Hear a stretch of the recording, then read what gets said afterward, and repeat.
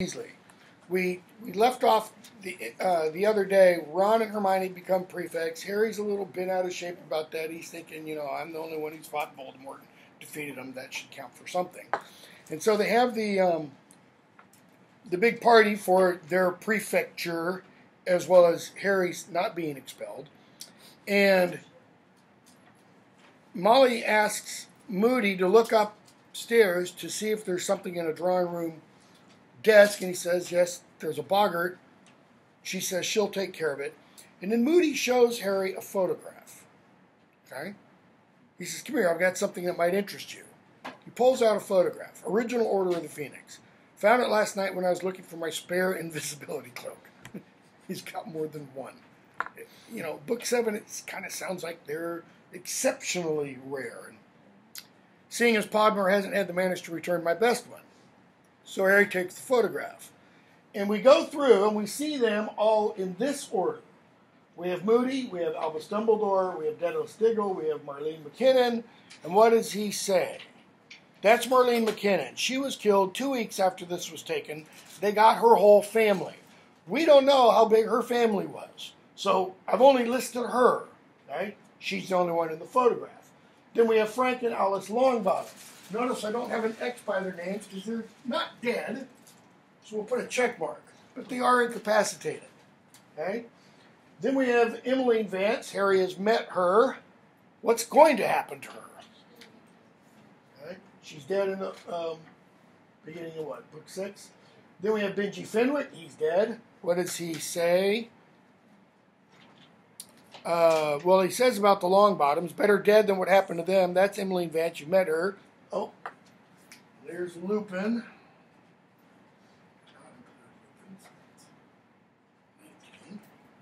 Um, there's Lupin. Benjy Fenwick, he copped it too. We only ever found bits of him. Now, you don't only find bits of people from an Avada Kedavra curse. So he was blasted to smithereens somehow. Or maybe we're being told something about the desecration of the body idea again. Okay?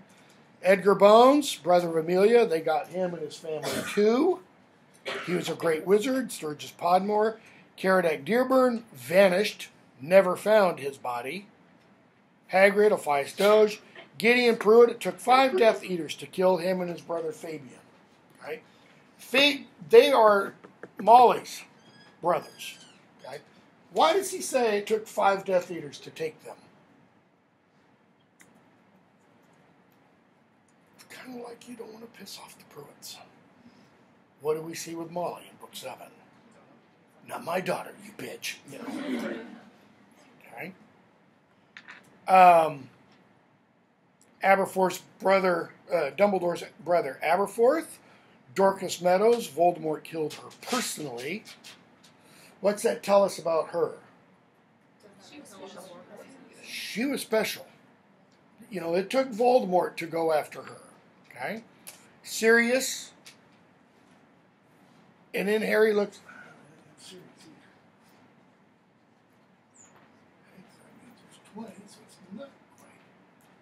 Well, in terms of incapacitated or dead, it's still 20%. And then Harry looks and he sees his parents. His mother and father were beaming up at him, sitting on either, either side of a small, watery man. Recognized that. I forgot him too. right? Recognized that once as Wormtail. Okay? Wormtail's still alive. Not for long. So why does Moody show this to him? Do you think this will lift Harry's spirits? Does he think this will be encouraging? Is this merely a history lesson?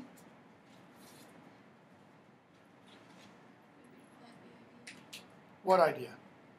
That someone has to take that place. There's not many of them Possible.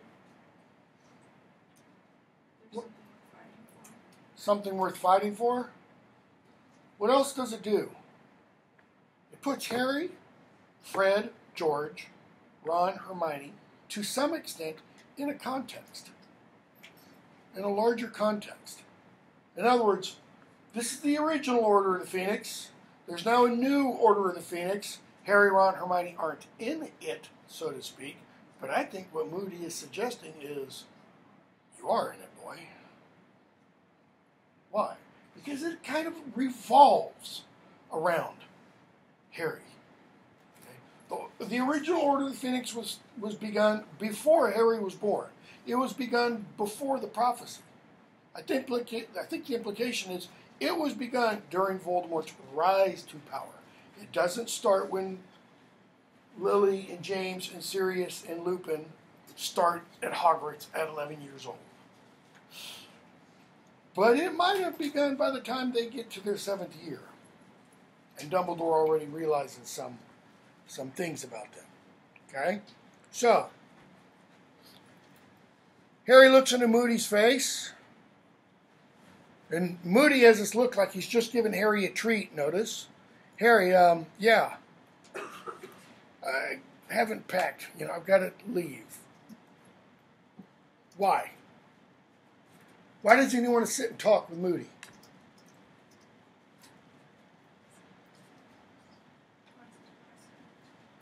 He's got to process this information. Again, what's he just been told? Half, half of the original order are either dead or incapacitated. So, what does that mean about the present order? Take your pick, folks. Who's who's gonna die? Arthur, Molly, Sirius, Lupin, you know, are in the current order. Hagrid, Dumbledore, McGonagall is in the order. Siri, uh, Snape is in the order. Moody's in the order. Dedalus Diggle's in the order. Okay, Elphias Doge is still in the order. Hestia Jones is in the order. Kingsley Shacklebolt. How many of those die? Well, we're going to end up with Sirius dead by the end of this book. We're going to end up with Fred dead by the end of this book. Excuse me, by the end of the seventh book. We're going to end up with Remus and Tonks both dead. It, I don't think it's 50%, but it's a pretty good proportion. Okay? And notice, you know, book one, when Harry says, um, Voldemort's going to come back, isn't he? And Dumbledore says, Harry, you might have slowed his rise, but it'll take somebody else to kind of what? Be willing to fight to the death. We get that idea, fighting to the death, early on. Okay? Um, Harry leaves this room. That's not what I wanted you to do. I wanted you to go to notes. And what does he see? He makes his own way on up to his room. And what's he see off in a side room? Molly Weasley. Dead Fred. Dead George. Dead Arthur. Dead Harry. Dead Hermione. Dead Ginny. Dead Percy. Dead Charlie. Dead Bill. Harry knows what's going on.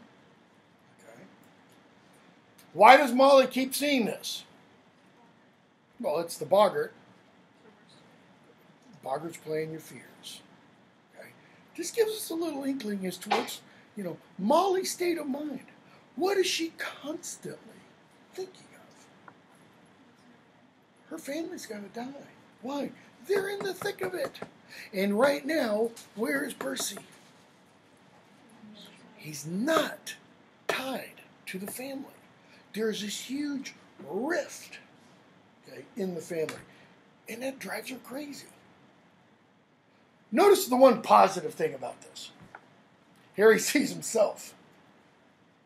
He to Molly is a son. Okay. Um, who comes and gives her consolation other than Harry? Lupin. Who else? How did Molly and Sirius kind of end their conversation earlier? You know, the first conversation, it did not end on positive terms. You get the impression Molly and Sirius are kind of loggerheads. She wants to defend Harry. Sirius wants to what? set him free. Let him be kind of what he is intended to be. I mean, that's the way I read it. Sirius thinks Harry has, you know, abilities. We should be nurturing those abilities. We should give, be giving him kind of free reign and opportunities to practice those skills. Okay? She tells Lupin, Don't tell Arthur. I don't want him to know. Don't want him to know what? What does she think about herself? That she's weak. Does this show Molly's weakness? No. What's it show? Just the opposite. It shows her strength. Molly has a great ability just like Harry has love. Okay? She says, Harry, I'm so sorry. What you must think of me, not even able to get rid of a boggart. Don't be stupid, Harry says. I'm just so worried. Half the family's in the order. Okay. Going by the old statistics, it'll be a miracle if we all come through this. And Percy's not talking to us. What if something dreadful happens and we never made up? What if something happens to Percy or me or Arthur and they've never had a chance notice? What does she mean, never made up? Okay, so what is the family?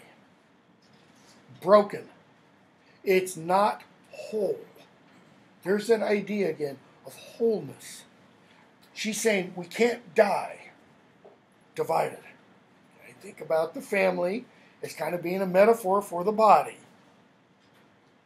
If the family dies broken, then what is the state of its soul? It's ripped. She's kind of suggesting we've got to put our brokenness together. We have to end our divisions. The same kind of thing Dumbledore said at the end of the previous book. We have to mend divisions. We have to reach across lines, so to speak. Okay? Lupin, I think it is, or it's Sirius. Lupin says, Molly, this is different. This isn't like last time. The Order's better prepared. We've got a head start. We know what Voldemort's up to. And then he finally, you know, she, yeah, you know, you need to learn to accept the name. Percy, uh, Sirius comes in. Don't worry about Percy. He'll come round. It's a matter of time before Voldemort comes into the open. Once he does, the whole ministry is going to be begging us to forgive them, and I'm not sure I'll be accepting their apology. I'm not sure I even know the answer to this. Does Sirius know what happened to Regulus? He knows Regulus joined the Death Eaters. He knows Regulus was killed by Voldemort. Does he know why? Does he know Sirius? Does he know Regulus tried to come back? I would say because I mean he calls him weak and whatever for joining the Death Eaters. Okay. He denounces his name. Lupin. And as for who's going to look after Ron and Ginny if you and Arthur died, what do you think we'd do? Let them survive? Okay. This is Lupin. What's probably going through Molly's head? Uh, werewolf and Sirius, you know. So, next chapter we meet, we're introduced to Luna Lovegood, which we're going to skip over entirely. Um, and we're going on to, I think, the chapter after that. Notice Hagrid is not at school when they arrive. Harry's wondering why. And we get the Sorting Hat's new song. This is the song I intended, you know, I was thinking of in the question for that previous exam. We're going to spend a few minutes on the song. Uh, by the way, if you haven't taken this down, write down the seat numbers. Um, I'll remind us when we get to the training tomorrow. Um, notice there aren't a lot that are together. 3 through 10 in Coach D and 27 through 30 in Coach D are together.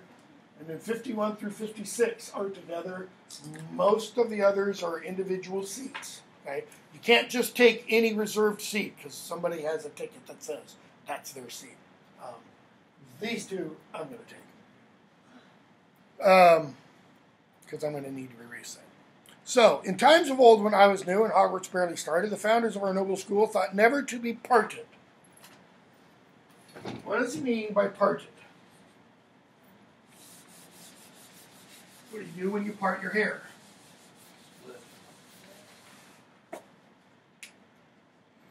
Separate. Divide. Let's use this word that the sorting hat is going to use. Quarter. when you're drawn and quartered, you're not literally cut into quarters. I mean, sometimes you were, but other times you were just cut into little bits and pieces. Okay? So, they thought never to be parted, to be separated. In other words, they always thought to be whole, united by a common goal. Okay? They were united, they were drawn together by an idea. That idea kind of was their soul, if you want to think of it that way. What's the common goal? They had the self same yearning to, wait, to make the world's best magic school and pass along their learning. Together, we will build and teach, the four good friends decided, and never did they dream that they might someday be divided. For were there such friends anywhere, when you first read this, who do you think's going to come? You think it's going to be Gryffindor and Slytherin? No. Why? Because they're the polar opposites currently. Okay, kind of, you know, Ravenclaw and Slytherin are polar opposites, and Hufflepuff and Slytherin are polar opposites too. Okay, but it's Slytherin and Gryffindor, unless it was the second pair of Hufflepuff and Ravenclaw. Is she saying something? She, Rowling, saying something maybe about the qualities of each of them that kind of draw them together.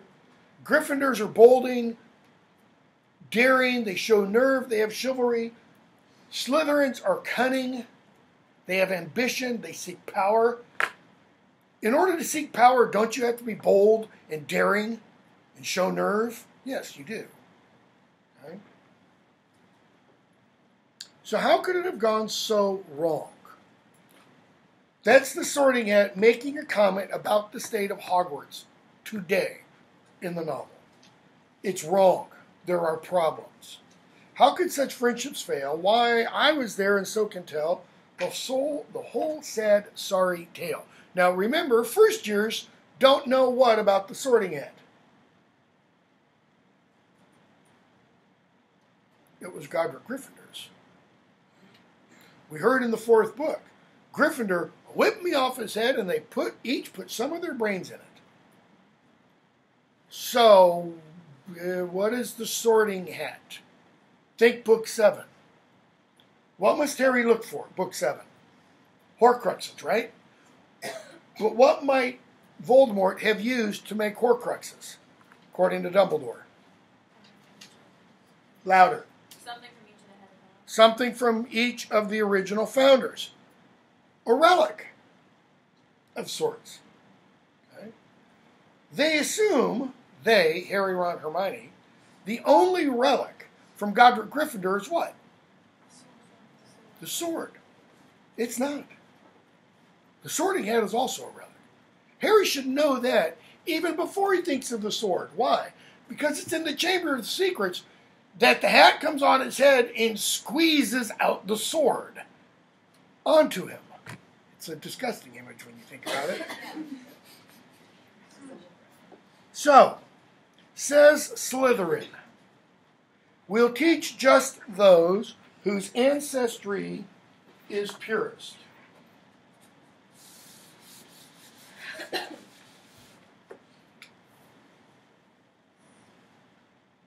Slytherin, pure ancestry. And notice how he qualifies. We'll teach what? What's the next word? Just. We'll teach just what? Just those. What does just mean? Only. So what does it exclude? Everyone else. Okay? So, just those whose ancestry is purest. All right? Said Ravenclaw. We'll teach those, no modifier in front of it, we'll teach those uh, whose intelligence is surest. Right? But it doesn't necessarily, it's not as exclusive as Slytherin's statement. Right? Says Gryffindor, we'll teach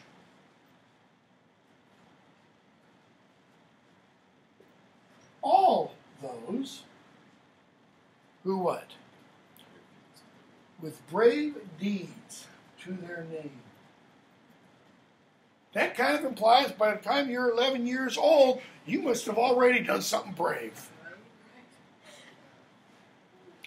Who would that definitely exclude? First year of the Harry Potter novels.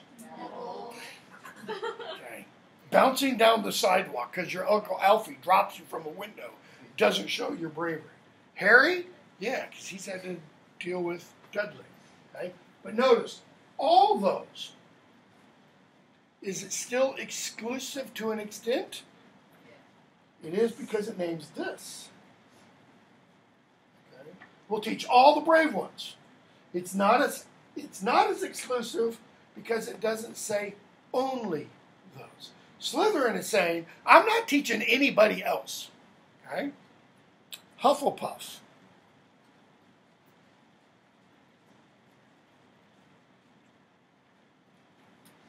How does she exclude? I'll teach the lot. What's the lot mean? Every damn one of them. I'll teach them all. I'll teach just those whose ancestry purest. I'll teach those whose intelligence is surest. I'll teach all those who have brave deeds to their name, and I'll teach everybody else too. Okay? The lot.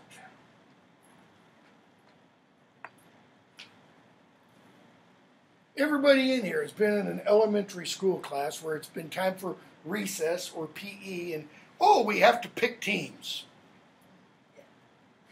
And what happens? The best get chosen win first, and the losers, the dregs of society, are in the back and get chosen last. What's Hufflepuff saying? I'll take them all. Okay? I'll teach the lot, but she doesn't stop there. And then says what? And treat them just the same. She's going to teach them all equally. She's going to treat them all equally. In other words, for Hufflepuff, your ancestry doesn't mean diddly squat. Your intelligence doesn't mean diddly squat. Your brave deeds don't mean diddly squat. You are all equal in her eyes. Hmm. These differences cause little strife. Where are the differences? Here, here, here.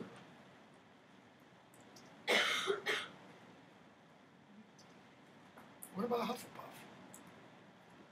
Yeah, she's different, but how? She doesn't exclude. She doesn't, use another word. She doesn't separate. She doesn't sort. She doesn't divide. She doesn't, and I'll use a new term, she doesn't horcrux. Think of what happens when first years are sorted. When the first years arrive on the little boat across the Forbidden Lake, uh, the, the lake, what are they all at that point? Louder. The same. Okay, keep going. They're first years. That's what unites them, right? They're Hogwarts students, and they're pretty excited about being Hogwarts students. And it's like the minute they step in the Great Hall, what happens? The hat goes on the head, and they're no longer simply first years and Hogwarts students. They're Gryffindor, Ravenclaw, Hufflepuff, Slytherin. What was once a single entity now gets divided. and what immediately happens once they're divided. I mean, first book, Percy, we got Potter. you guys are screwed. That's what he means. We've got the one who defeated Lord Voldemort. We knew was only a little baby. You guys are, you know.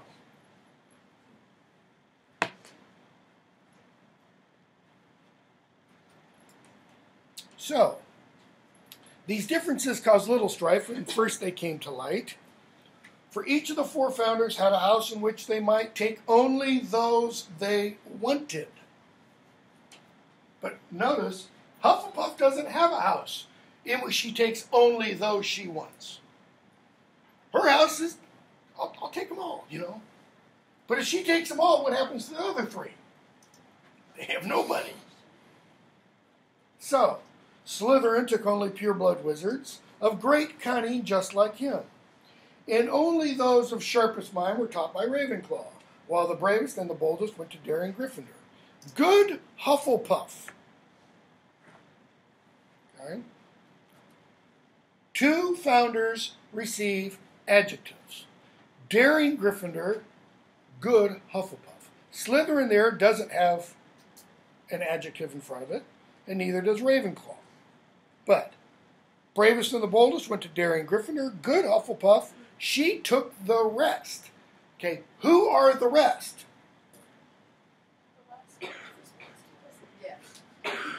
Louder, Justice. The last pick for the sports teams, or all those who none of these three wanted. Go back to what Dobby said to Harry when he was sitting on his chest in the hospital wing in book two. And what happened, he says, to our kind? We, we dregs of the magical world. Harry's coming was like what? Like a beacon in the night. Okay? What do you think all those who did not go off into this these houses felt? Because we're not told necessarily by the song how the sorting occurred a thousand years ago. By this song, we're not told that. like, first year, the very first year of the founding of Hogwarts, we're not told that Gryffindor immediately whipped the hat off his head. They each put some brains and said, hey, let's do it this way. Right? Might have been. Or it might have been, all right, all you purebloods, come over here the purebloods go over. All you, you know, SAT experts, all you GRE experts, you come over here. All you brainiacs, come over here. All you brave, daring, swashbuckling, sword-bearing, you know, Errol Flynn's, you know, come over here. You losers in the back there, yes, you know who you are. Come on, step forward. You're with me, the old fat lady, kind of as it is. So, Good Hufflepuff, she took the rest and taught them all she knew. We're not told what that is. Thus, the houses and their founders retained friendships firm and true. So Hogwarts worked in harmony for several happy years. Describe several. How old is Hogwarts? It's over a thousand years old. Describe several. Okay. One is one, two is a couple, three is a few, four or more is several. Till you get up to a 20, then that's a score. So somewhere between 4 and 19. The school's a thousand years old. They could only keep it together, so to speak, for between 4 and 19 years. For about 15 years.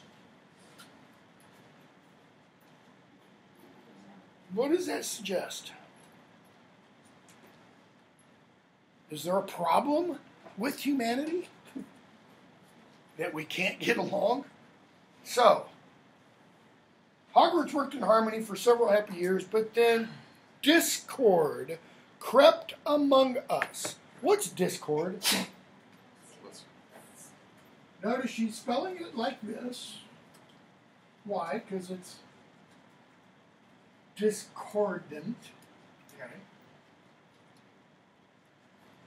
this kind of chord, probably. But this is also related to this kind of chord, as in cardiac. Okay? Heart. Discord crept among us. So what's discord?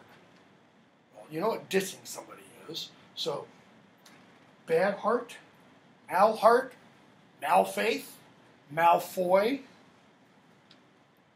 crept among us, feeding on our faults and fears. Notice what perspective the hat is now talking from.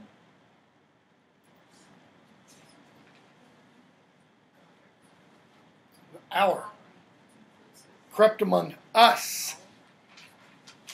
Okay, the, ha- the the school itself, Hogwarts, but I think also the founders. The houses that, like Pillars 4, had once upheld the school, so you have four pillars. The school is built upon that. Okay? The houses that, like Pillar, Pillars 4, had once held up our school, now turned upon each other and divided sought to rule. The houses turn. Okay, notice they're supposed to hold up the school. What happens if you take this pillar and turn it? And then you take this pillar and turn it. And you take that pillar and turn it, and that pillar and turn it. The school has no foundation anymore. It has no underpinnings. They divided, sought to rule. And for a while it seemed the school must meet an early end, what with dueling and with fighting and the clash of friend on friend. And at last there came a morning when old Slytherin departed. And though the fighting then died out, he left us quite downhearted. Why? Why are they left downhearted? What is meant by downhearted? Sad. They're sad. Okay? Well, what else is there?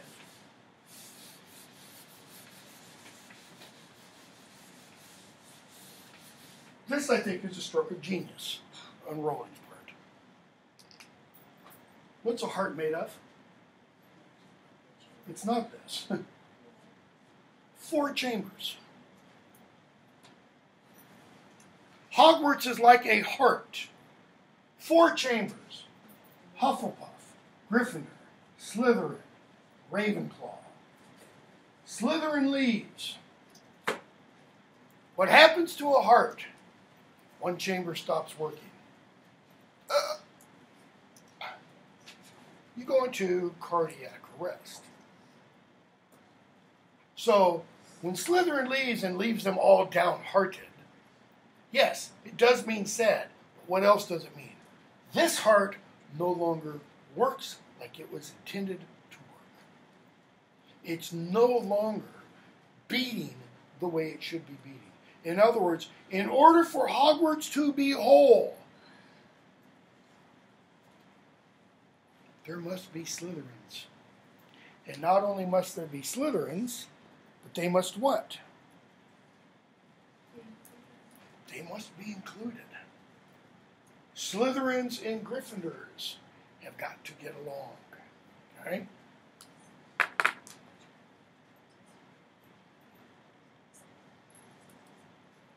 There came a morning when old Slytherin departed, and though the fighting then died out, he left us quite downhearted. And ever since the founders four were whittled down to three, have the houses been united as they once were meant to be. Why? Because there's only three. And four is what they're supposed to be. And now the sorting hat is here, and you all know the score.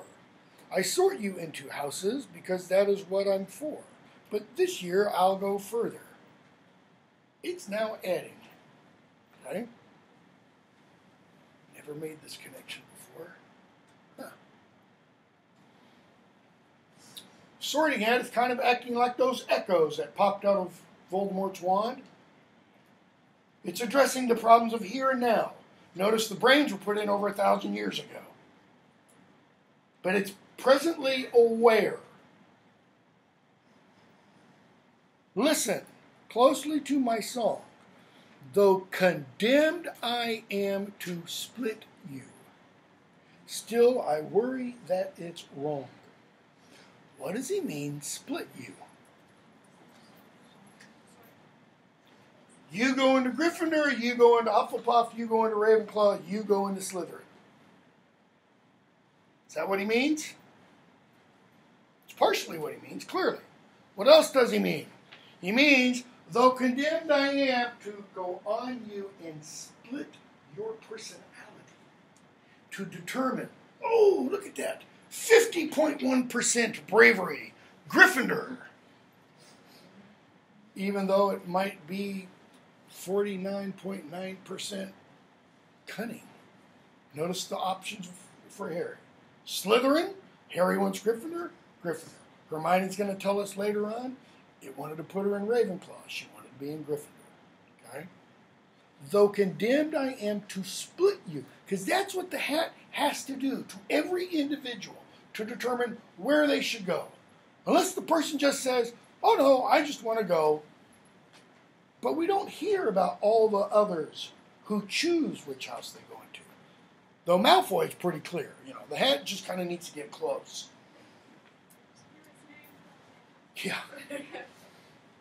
Though I must fulfill my duty and must quarter every year. And notice, by the way, the term the hat uses to describe what its charge is condemned. What does that mean? It means I'm damned. I am damned to split you. It's, it's kind of judgment has been placed upon it to do this. Though I must fulfill my duty and must quarter every year, still I wonder whether sorting may not bring the end I fear. Know the perils, read the signs. The warning history shows, for Hogwarts is in danger from external deadly foes, and we must unite inside her, or we'll crumble from within. Is the sorting hat talking about Dolores Jane Umbridge? To an extent, yes, it is. And what she represents, the Ministry of Magic. What else is it talking about? Voldemort, the greater danger and evil. The Ministry of Magic, you know, it's kind of like, a, to use kind of Tolkienian language, finger on the hand of Sauron. It's not much without Voldemort being back there. Okay? The hat stops speaking, becomes still, Ron's like, huh, branched out a bit. Do you think Ron has even heard a word the hat has said? No, because this is Ron and gotta watch going. It's longer this year. yeah. So it starts sorting, and we get introduced to in a moment. To Dolores Jane Umbridge, which we're going to skip. She gives her big, long bureaucraties speech.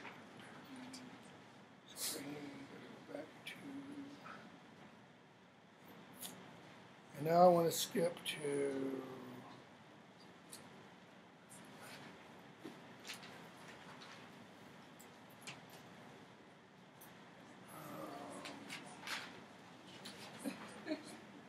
Harry says, the sorting hat wants us to be friends, and nearly headless Nick talks about some things from the past. Okay.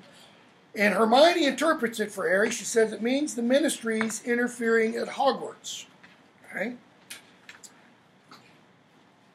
Harry goes up to his dormitory that evening, and what happens? Just slips in his jammies and goes on to bed? Seamus Finnegan. What about him? Doesn't believe Harry. What do we see? The proof of the sorting hat saw. Okay. The ministry, the daily prophet, is sowing what? Discord, division. So that now we have in a single dormitory room discord creeping. Okay?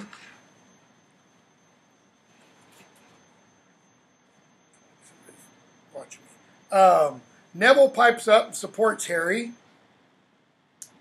And I'm going to skip a bunch again. Let's go to.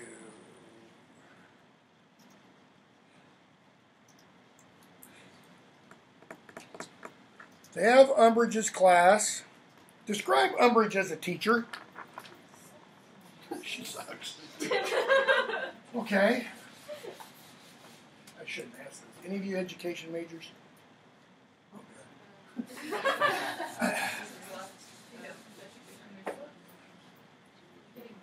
She's like far too many education majors. What does Umbridge emphasize? Theory. Over? Why? Why does she emphasize theory over practice? Safer, sort of.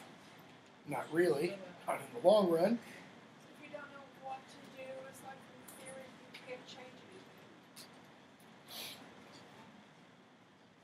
Take this approach to teaching and learning how to drive a car. You've read the operator's manual of the car, and you've read the rules of the road and the laws.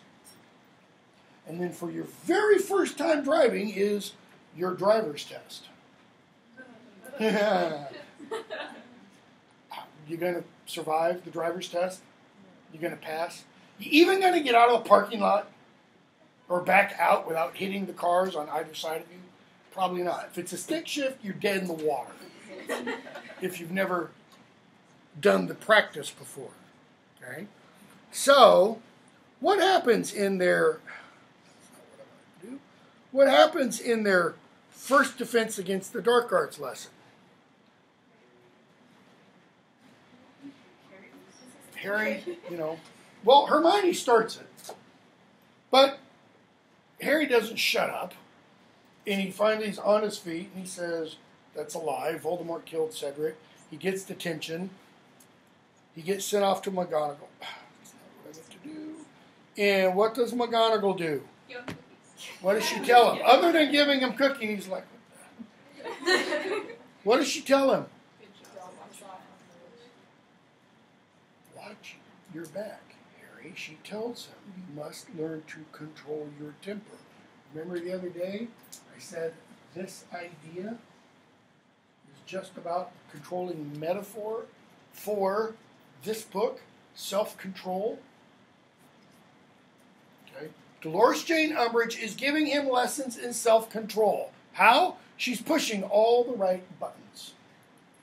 And Harry's just letting her kind of control him. Um, let me do this. That's not what I want.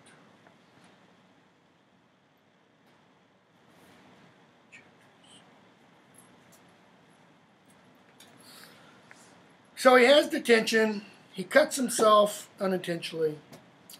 Um, chapter 14 Percy and Padfoot. What do I want to say there? Percy sends Ron a wonderful letter of brotherly advice from older, smarter, wiser brother to younger, stupid, dumber brother. Um, chapter 15, we get the Hogwarts High Inquisitor. Chapter 16, we get in the Hogshead. Let's jump to chapter 16. No, take that back. Go to um, chapter 14, Percy Padfoot, for just a moment. When they're talking with, Harry's talking with um, Sirius, Harry and Ron and Hermione are. And Harry talks, Harry mentions something about Dolores Jane Umbridge. And he says she's foul enough to be a Death Eater. Sirius says, I know her by reputation. I'm sure she's no Death Eater. Harry, she's foul enough to be one. Yes, but the world isn't split into good people and Death Eaters. What does Sirius mean by that? He means just because you're not good doesn't mean you're automatically a Death Eater. In other words, you can be good and still be a rotten, foul person. Okay? Um, Sirius talks about the anti-wolf legislation and such that she composed. So now let's go to the Hogwarts High Inquisitor. No, sorry, in the Hogshead, chapter um, 16. Because Hermione's come up with the wonderful idea of Harry teaching them defense against the dark arts. You know, we had the big long scene where Hermione broaches the topic and Ron goes, Now there's an idea. And Harry's still being Harry and clueless. What's an idea? You teaching us. Why do Ron and Hermione think this is such a good idea? Harry said the most experience. Okay. Why else? They're not going to learn from Umbridge. They're not going to learn anything from Umbridge. Okay. Why does Harry think it's not a good idea?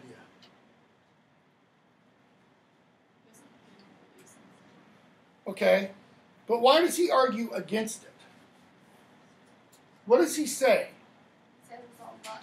It's all luck. He says you can't prepare for this kind of thing. And he just launches into this tirade against it. Ron and Hermione just kind of, you know, in awe. And they're like, yeah, but Harry, that's why you ought to be teaching us. Okay? To at least give us the tools, you know.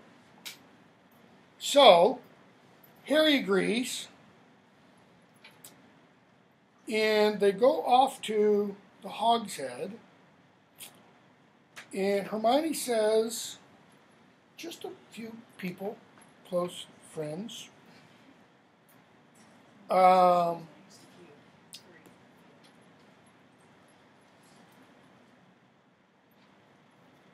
Harry's like, I'm not sure about this when they go into the bar because it's kind of a dodgy place. And Hermione says, just a couple people told them to be here about now. I'm sure they all know where it is. Oh, look, this might be them now. And how many are there? I haven't counted up, and I don't know if that's what my these footnotes are telling me. Yeah, 25 plus Harry, Ron, and Hermione. Okay, a couple of people. So, what are at least some of them? Zacharias Thundy, therefore, or. Zacharias Smith. What are they there for? They want the scoop. They want the National Enquirer version of what happened to Cedric Diggory. Harry says, You're not going to hear it. Okay? But he does agree to teach them. And what kind of teacher does he turn out to be? A decent one. How do we know? Neville actually wants. Neville does an expelling Expelliarmus curse. First lesson. Harry's back's turned. But still, he did it. Okay? Um, skip a bunch again. So we get another educational decree. We have Dumbledore's army, the lion and the serpent. You know, um, Quidditch match. Ron becomes kind of the savior. We get Hagrid's tale. I'm trying to skip a lot. Um, chapter 21, The Eye of the Snake. It's just before Christmas holidays. Harry goes to sleep, or goes to bed, and he has a vision. But it's not a vision. He tries to make clear to Ron and then McGonagall when she comes. This wasn't just a dream. What did he see from the eye of the snake? He saw himself, as he was the snake, attacking Arthur Weasley. Where was Arthur Weasley? Where at the Ministry of Magic? The Department of Mysteries. Does Harry know that? No. He doesn't know where he was. Okay. So, jump to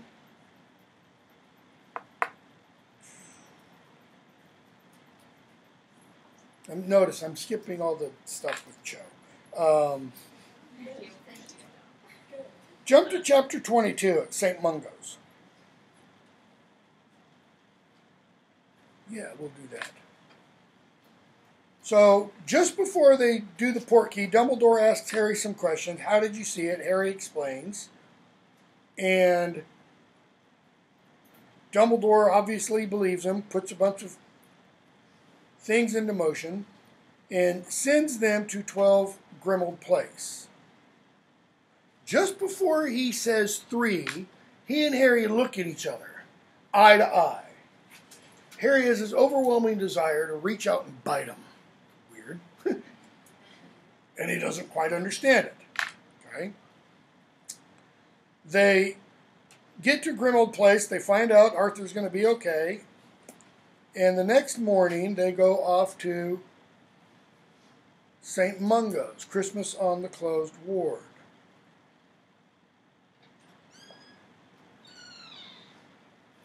And Arthur, you know, trying some alternative healing therapies, let's say, meaning muggle healing. And I'm trying to find the right place. Before they go back to a second time to the hospital, Harry goes up to his room. Take that back. Fred and George pull out their extendable ears, their first time on the closed ward. All right, St. Mungo's. Harry, uh, Fred and George pull out their extendable ears and they give a set to Harry. What does he hear when Moody and Molly and the others are in with Arthur Weasley? He hears Moody say something.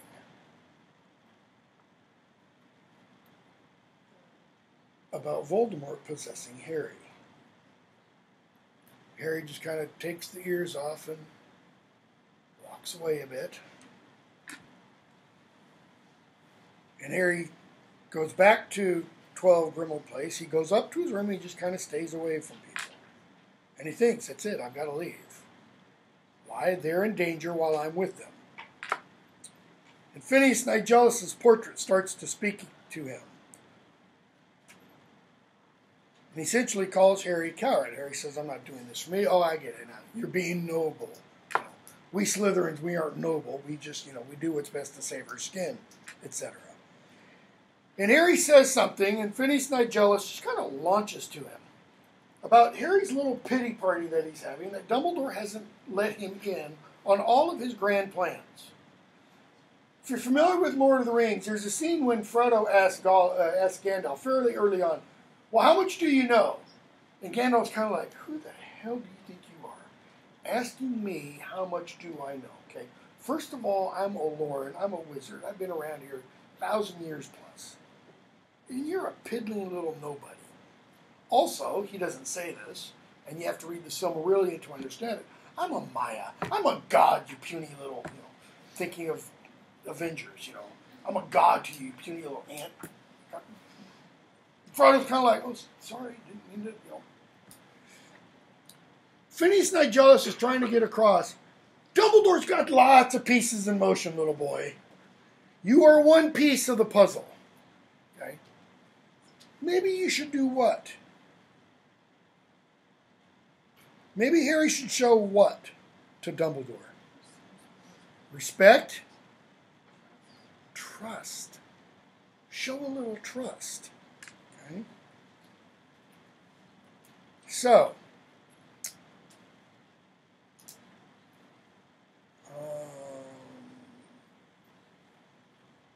Ginny finally gets Harry to see he can't have been possessed because he doesn't have hours at a time that are blacked out from his memory.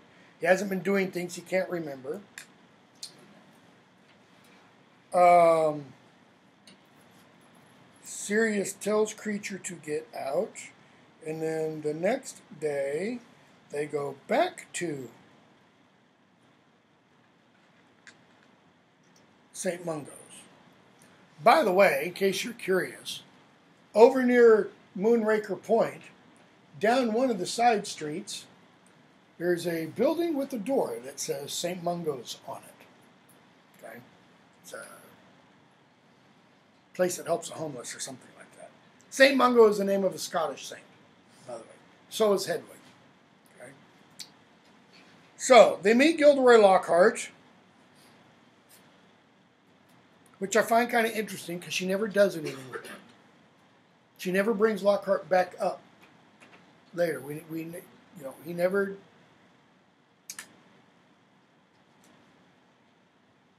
They go by Broderick Bode.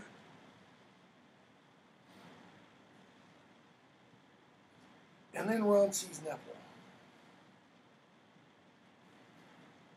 and says, Neville! They hear, Oh, Mrs. Longbottom, are you leaving already? Harry's head spins around. And Ron yells, Neville! Neville jumps. It's us, Neville. Friends of yours, Neville dear, says his grandmother. Neville just, you know, wants to slink into the ground. She looks, she comes up to them. She says, Of course I know who you are, Harry Potter. Why? Because she can see his scar. She says, Yes, yes, I know who you are, of course. Neville speaks most highly of you. You two are clearly Weas- Weasleys. Red hair gives them away. Know your parents well, not well, of course. But fine people, fine people. You must be Hermione Granger. Hermione's thinking.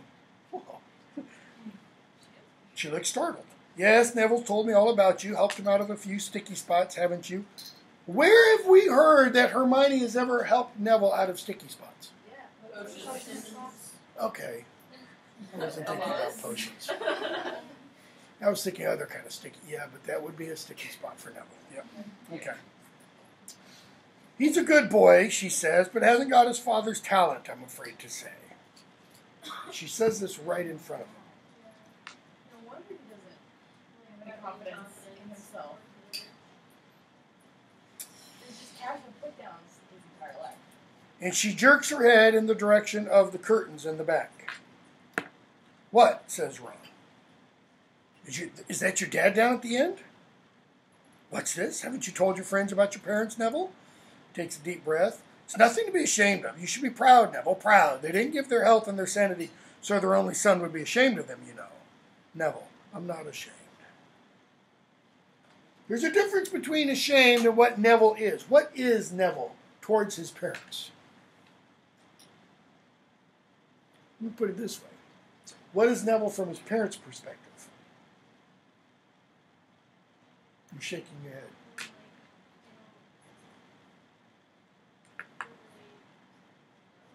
They don't really know him. Okay. Well, you've got a funny way of showing it. My son and his wife, she turns haughtily to Harry. Haughtily. Why is she speaking haughtily? What is she taking from what happened to Frank and Alice? Pride, glory. My son and his daughter were tortured by Lord Voldemort's followers. Not his son, not his son, my son, you know. Were tortured into insanity by you know whose followers. Hermione and Ginny do this, they can't believe it. Ron is trying to look over the curtains. He wants to see what insanity looks like. They were Aurors, you know, very well respected within the wizarding community. Highly gifted, the pair of them. I, yes, Alice dear, what is it? Okay, here's a question. Shouldn't Hermione know? Think of Hermione. She reads everything. Is this information the Ministry of Magic buried? So Alice comes out and down the hallway, down the walkway.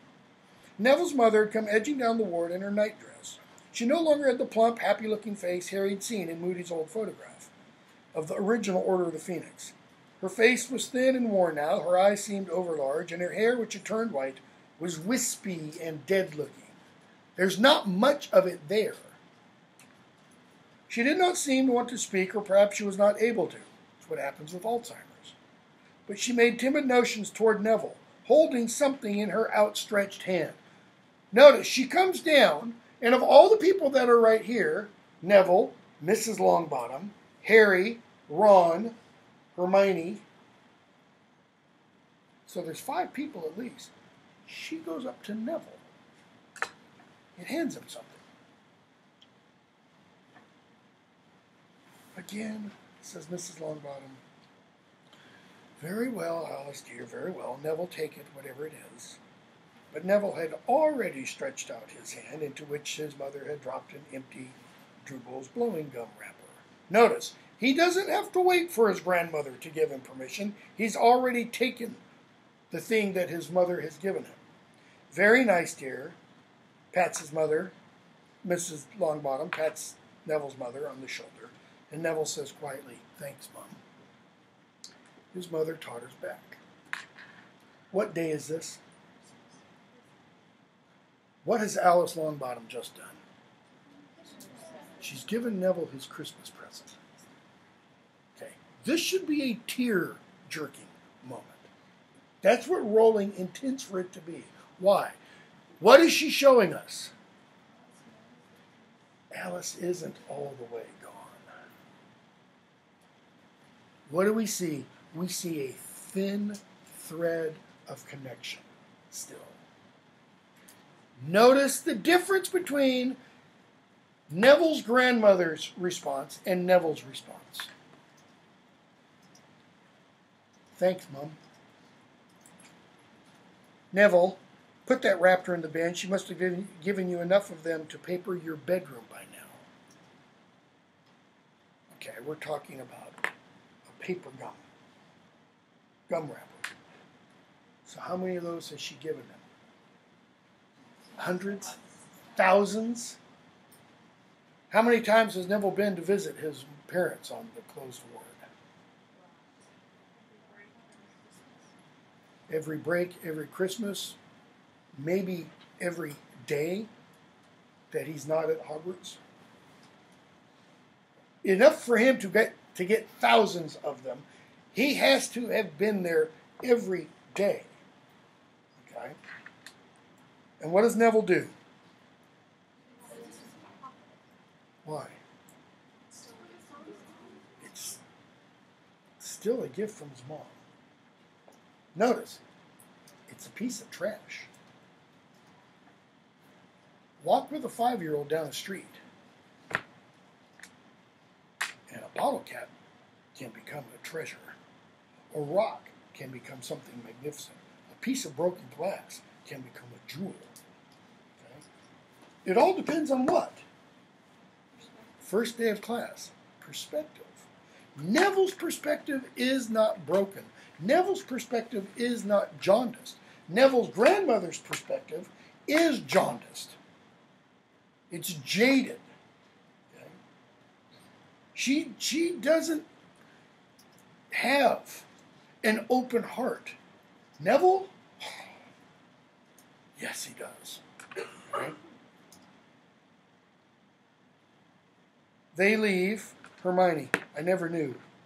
Ron, nor did I. Ginny, nor me. Harry, I did. Saw what happened to Neville's parents. Dumbledore told me not to tell anybody. That's what Bellatrix Lestrange got sent to Azkaban for, using the Cruciatus curse on Neville's parents until they lost their minds. Hermione, Bellatrix Lestrange. Let's see, where have I heard that name before? Oh yeah, you mean that horrible woman that Kreacher has a photograph of in his bed? Hmm. Maybe Kreacher isn't such a wonderful little house elf after all. Okay? Um, then we see Snape come and tell Harry he has to take occlumency lessons. Harry wants to know why Dumbledore won't do it. Snape doesn't answer. Notice we see Snape and Sirius about get into well, I just about get into it. And what is Snape doing with Sirius there? Yeah. Pulling his chain. Think of Sirius as the big dog. Heal. Heal. Dumbledore wants you to heal. You know, Snape. Sirius is about ready to go kind of full wolf on him, not just big dog. Um, gonna skip a bunch. Lupin tells Harry, you know, you need to do it. You need to do the lessons.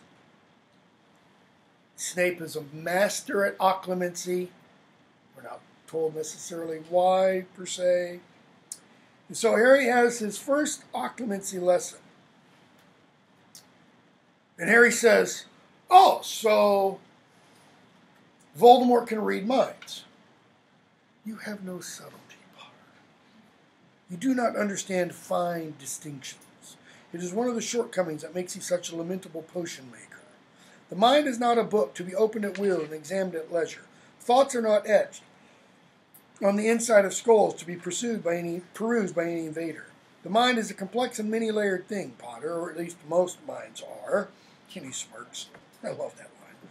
It is true, however, those who have mastered legilimency, or legilimency, whichever pronunciation you want, are able under certain conditions to delve into the minds of their victims and to interpret their findings correctly.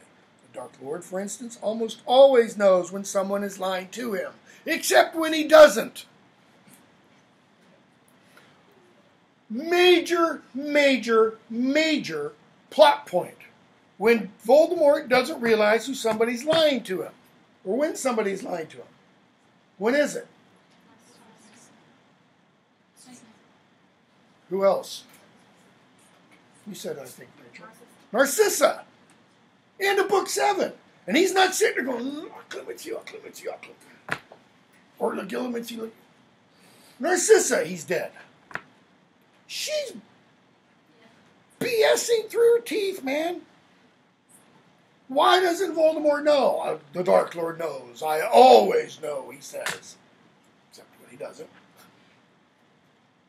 Even when Harry, at the end of the book, Harry tells him the complete truth. Yeah, I know, he has a harder time breaking into Harry's mind at that point because Harry now understands how everything works. Okay? But Narcissa, he ought to be able to read like an open book. Do we get any indication that Narcissa is necessarily a really powerful witch? Is Draco a really powerful wizard? No. Is Lucius? Only when he has other people around him. Lucius is the quintessential textbook definition of a bully. He only does something when he has others behind him to support him. He doesn't act on his own. At least Barty Crouch Jr. acted on his own. At least Peter Pettigrew acts on his own when he tricks Bertha Jorkins into taking a nice little walk in the Albanian forest with him. Okay? So, Harry says, so he can know what we're thinking right now, sir? Turn. The Dark Lord is at a considerable distance. The walls, and grounds, guarded, blah, blah, blah. Harry, then why do I need to learn occlumency? Because the normal rules don't apply to you, Potter. In other words, the walls and grounds don't mean anything when it comes to you. Why? Does Snape know why? At this point? Does Snape know about the Horcrux? No, he does not. Okay, that doesn't come till Dumbledore. Dumbledore says Harry's going to have to kill him, but he can't kill him until certain things are happen. Okay, so that's not what I want.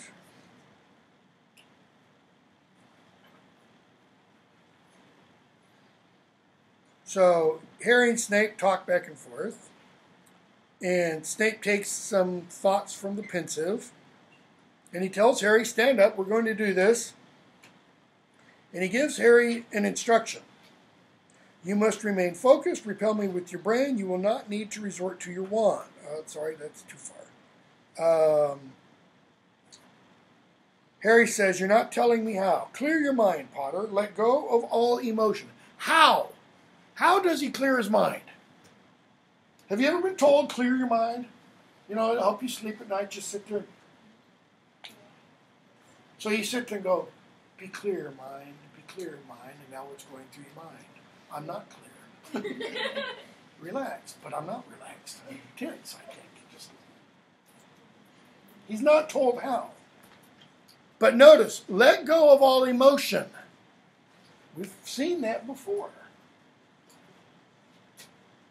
To have no desire. In other words, Imperius yourself, as it were.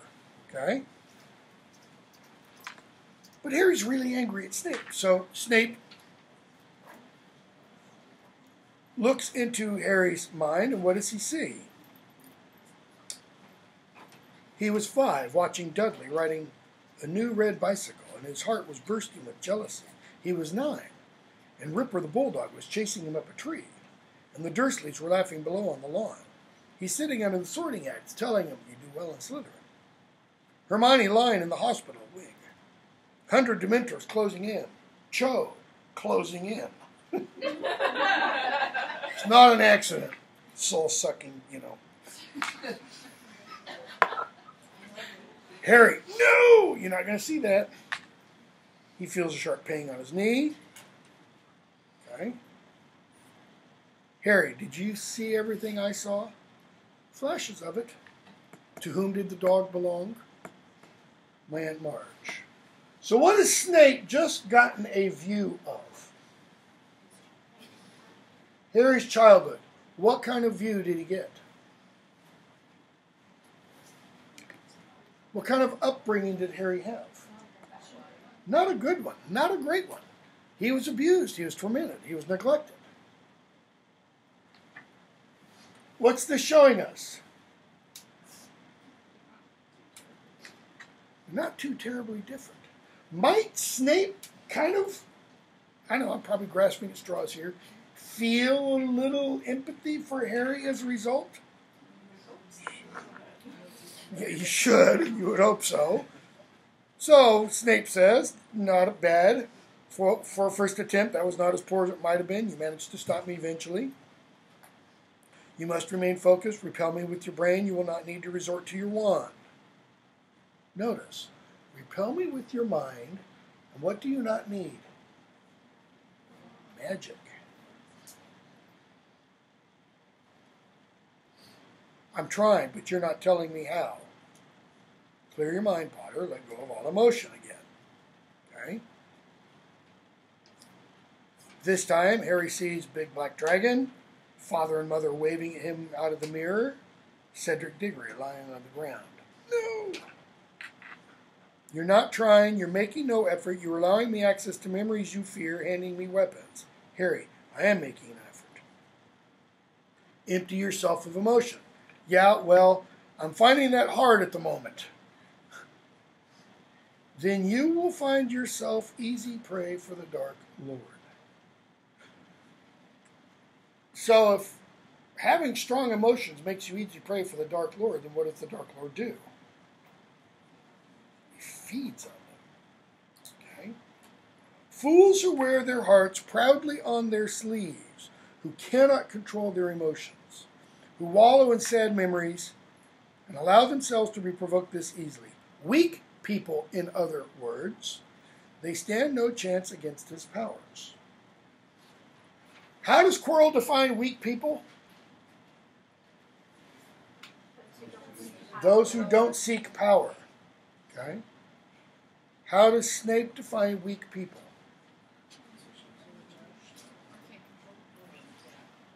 People who don't show what?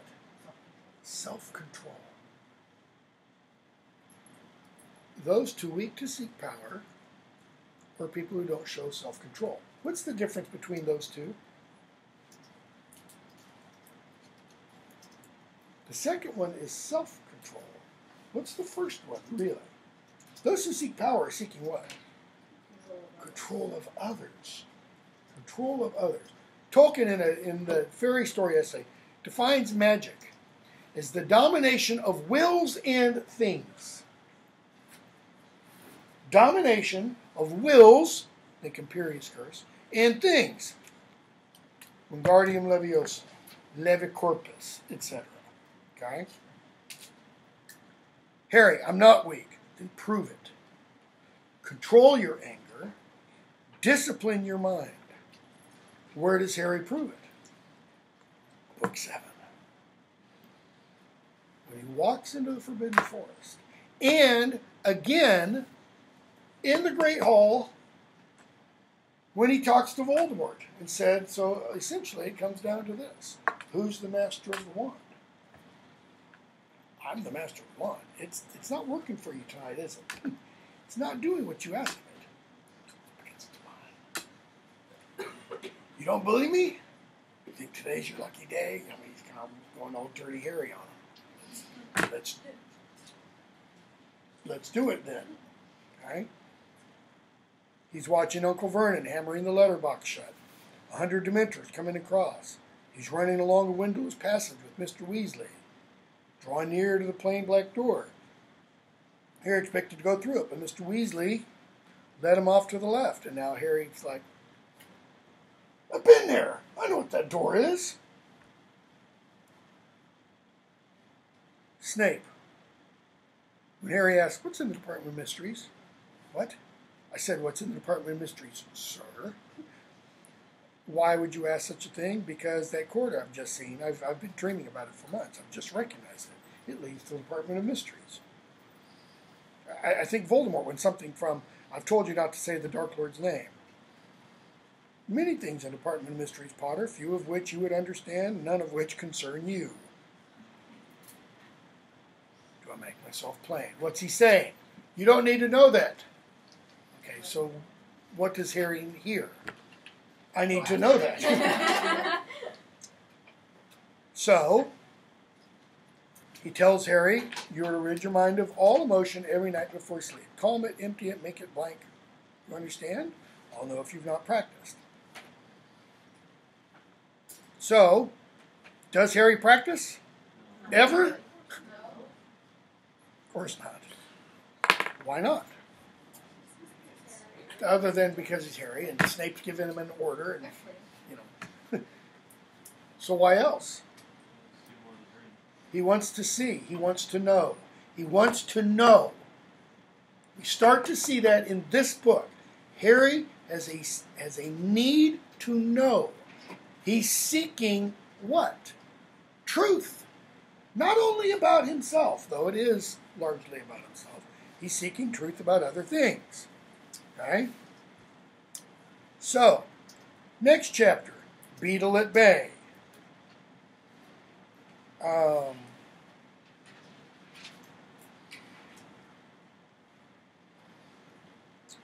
what does Hermione get Rita Skeeter to do? And why?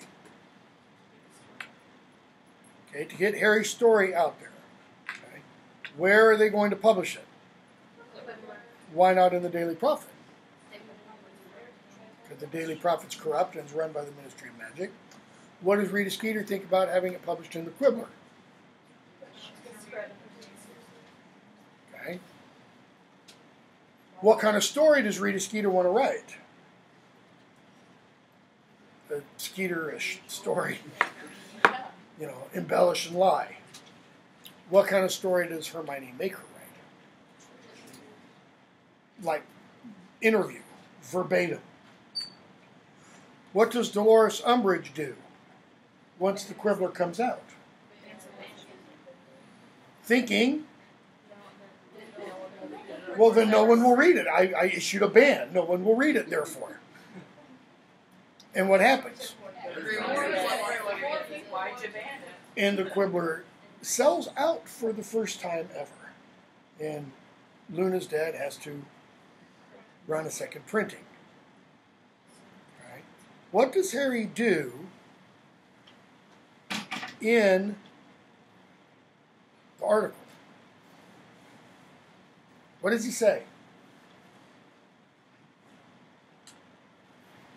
I saw Lord Voldemort come back. He killed Cedric Diggory. Boo hoo. That's it. No, he names names. He names the Death Eaters. Okay. He gives all the details. Why? Because it's details that make things realistic. Then we get, I'm going to skip a bunch again. Seen and unforeseen, Centaur and the Sneak. Let's go on to, which is when, you know, uh, Trelawney gets sacked and Firenze gets hired. And Firenze says about some nice things about Trelawney, about what she taught was a bunch of nonsense. Um, and then we get Snape's worst memory. Okay. I'll actually have to go back. Um,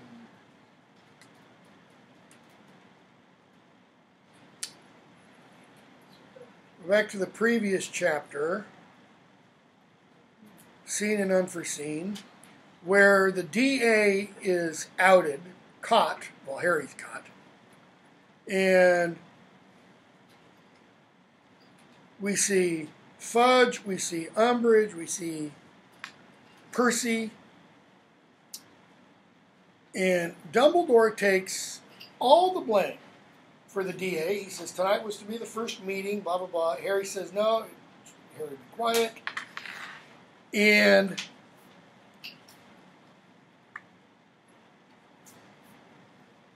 Dumbledore says.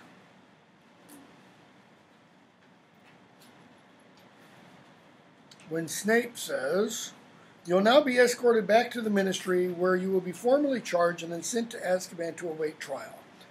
Ah, yes. Yes, I thought we might hit that little snag. Snag? I see no snag, Dumbledore. Well, I'm afraid I do. Oh, really? Well, just that you seem to be laboring under the delusion that I'm going to, what is the phrase? Come quietly. I'm afraid I'm not going to come quietly at all, Cornelius. I have absolutely no intention of being sent to Azkaban. I could break out, of course. The sheer audac- audacity of Dumbledore. But what a waste of time, and frankly, I can think of a whole host of things I would rather be doing. Like knitting his wool socks, probably, or something, right? Dumbledore says, Don't be silly, Dawlish, as he notices Dawlish, you know, twitching. I'm sure you're an excellent Auror. I seem to remember you achieved outstanding in all your newts, but if, what's he doing there? I taught you. Put it away. But if you attempt to er, bring me in by force, I will have to hurt you. Fudge. So you intend to take on Dawlish Shacklebolt, Dolores, and myself single-handed, do you? Dumbledore. Merlin's beard, no, not unless you are foolish enough to force me to. McGonagall. He will not be single-handed. Oh, yes, he will, Minerva. Hogwarts needs you. Enough of this rubbish. Dawlish, Shacklebolt. The streak of silver light flashed around the room. A bang like a gunshot, the floor trembled. Hand grabbed the scruff of Harry's neck, forced him down on the ground as a second silver flash went off. Notice, are we told Dumbledore even flicks his wand?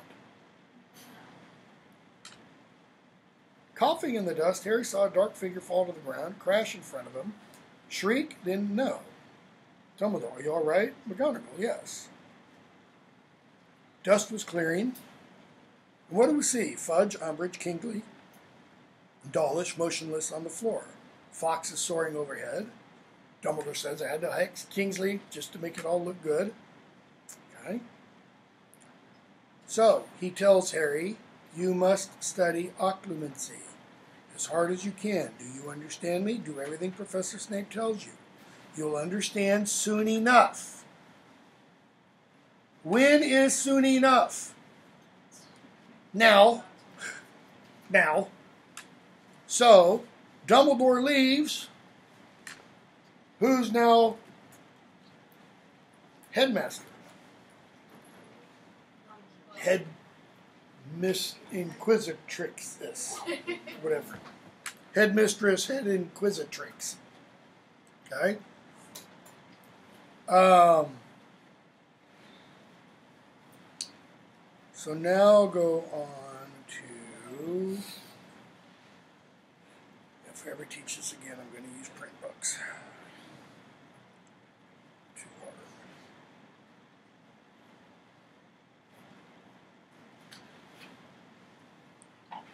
Um, skipping that. Skipping that.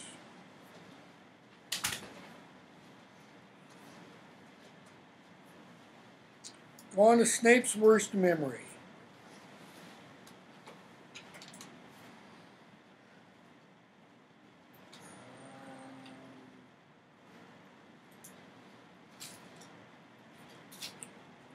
Harry goes off to another occlumency lesson.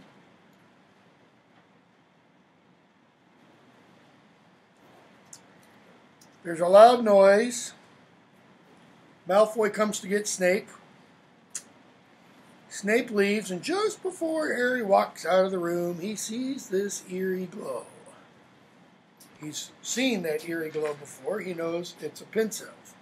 He goes and he looks into the Pensieve. Notice what it takes to go into the Pensieve. You have to break the plane of the water or whatever the liquid is in there. It's kind of like through the looking glass because the water acts like a mirror. Harry goes through. He realizes it's defense against the dark arts, owls. He hears Flitwick's voice. He turns and he sees his father. Okay.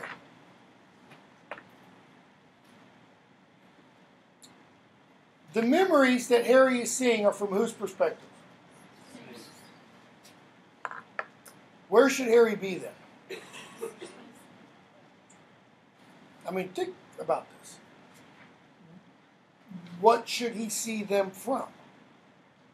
Snape's eyes. Where did he see everything in Chamber of Two when he read the book? Was it literally from Tom Riddle's perspective? No, it's like Tom Riddle was the director. This, this is the director's cut of Tom Riddle's memory, as it were. Okay? Because Harry moves. Where does he move from? Go back to the beginning. There he was at a table right behind Harry. Harry stared, Snape the teenager, had a stringy pallid look about him like a plant kept in the dark. Hair was lank and greasy, etc. And Snape's down here just scribbling away. So Harry is by Snape's desk. Harry moves. Now he's beside his father's desk. Did Snape see James at his desk? Excitement exploded. It was always looking at himself, but with deliberate mistakes. James yawns hugely, rumples up his hair, makes it even messier. Harry sees Sirius give James the thumbs up sign. Sirius lounging in his chair at ease, tilting it back. You know, he's just being cool jock in the room. Okay. He looks over. He sees Lupin. There's Wormtail. So now he sees them all. Quill's down. They leave the hall. Where should Harry be? if he's seeing it from Snape's perspective. He should be with Snape. So, I don't know that this is a flaw in the writing or a flaw in the conception. Because it's like you can jump into these memories and view them from however you want. But a memory is something shaped, you know, comes in through your eyes, so to speak, it gets shaped on here, up here. Anyways, She actually has addressed that. in an interview or in Pottermore. It, I think she addressed it in an interview. She said that the Pensieve wouldn't have much use if all you could do is still see it through your own perspective. The whole idea was that it was kind of a magical recreation of the event, so you could actually get a different perspective. But she never explicitly that She doesn't say that in the books, other than, you know, as I said the other day, it's a sieve. So that you can sift your thoughts, think it like an etch a sketch, you know. You can. I still think there's an issue there. Anyways, what does Harry do? He goes off after his father. I mean, he wants to know what dad was like in Sirius. So, Yes, I'm not allowed to. I didn't say Siri, I said Sirius. Okay. So, they start to talk, and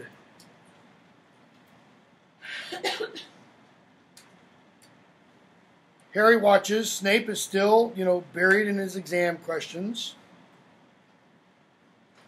Um, they go out by the lake. Harry looks over, and there's Snape sitting in the grass. So he's he's kind of keeping Snape in eye, and he sees Lupin pulls out a book, sits against a tree. Sirius looks at the other students, rather haughty and bored, but very handsomely so.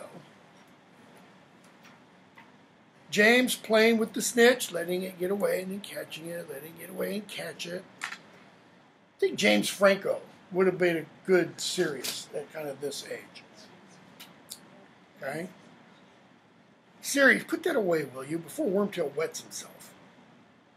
Snape, uh, Snape if, uh, James, if it bothers you, Sirius. Now look at what he says. I'm bored. Wish it was full moon. Okay, this is fifth year. They've just this year learned how to become animagi. Fully doing it. Wish it were full moon. Why? Because then Lupin would go all werewolf crazy and we could transform and have a lot of fun. Lupin, you might notice darkly from behind his book. Why? He doesn't have Wolfsbane potion yet. It's not a pleasant experience to transform. We've still got transfiguration. If you're bored, you could test me. He holds out his book. Serious. I don't need to look at that rubbish. I know it all. Whoa. This will liven you up, Padfoot, says James. Look who it is. What's he doing?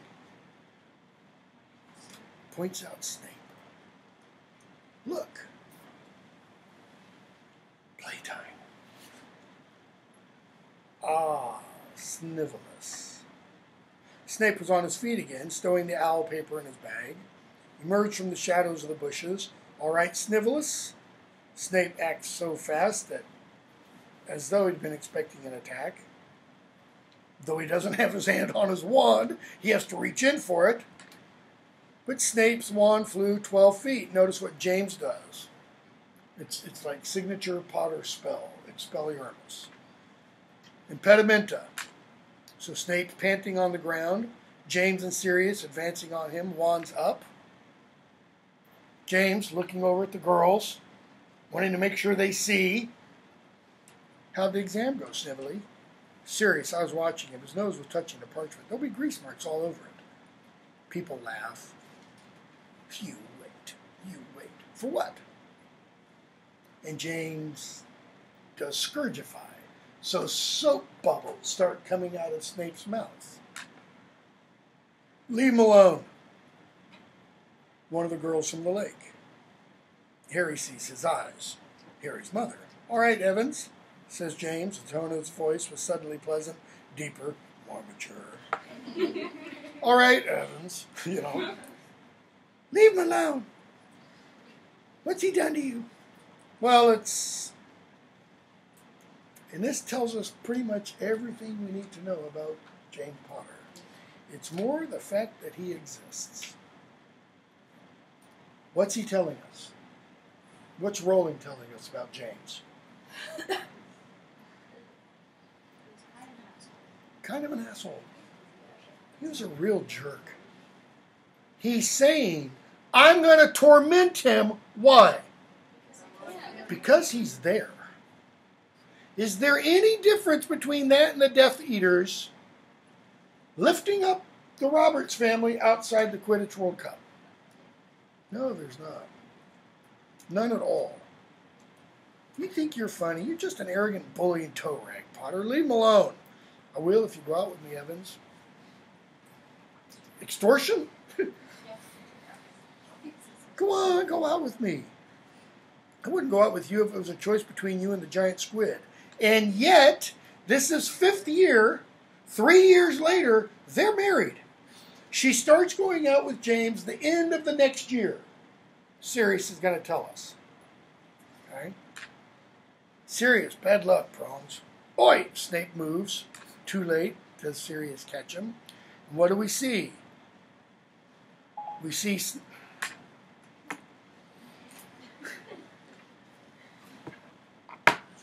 We see Snape hung upside down, exactly like the Roberts family.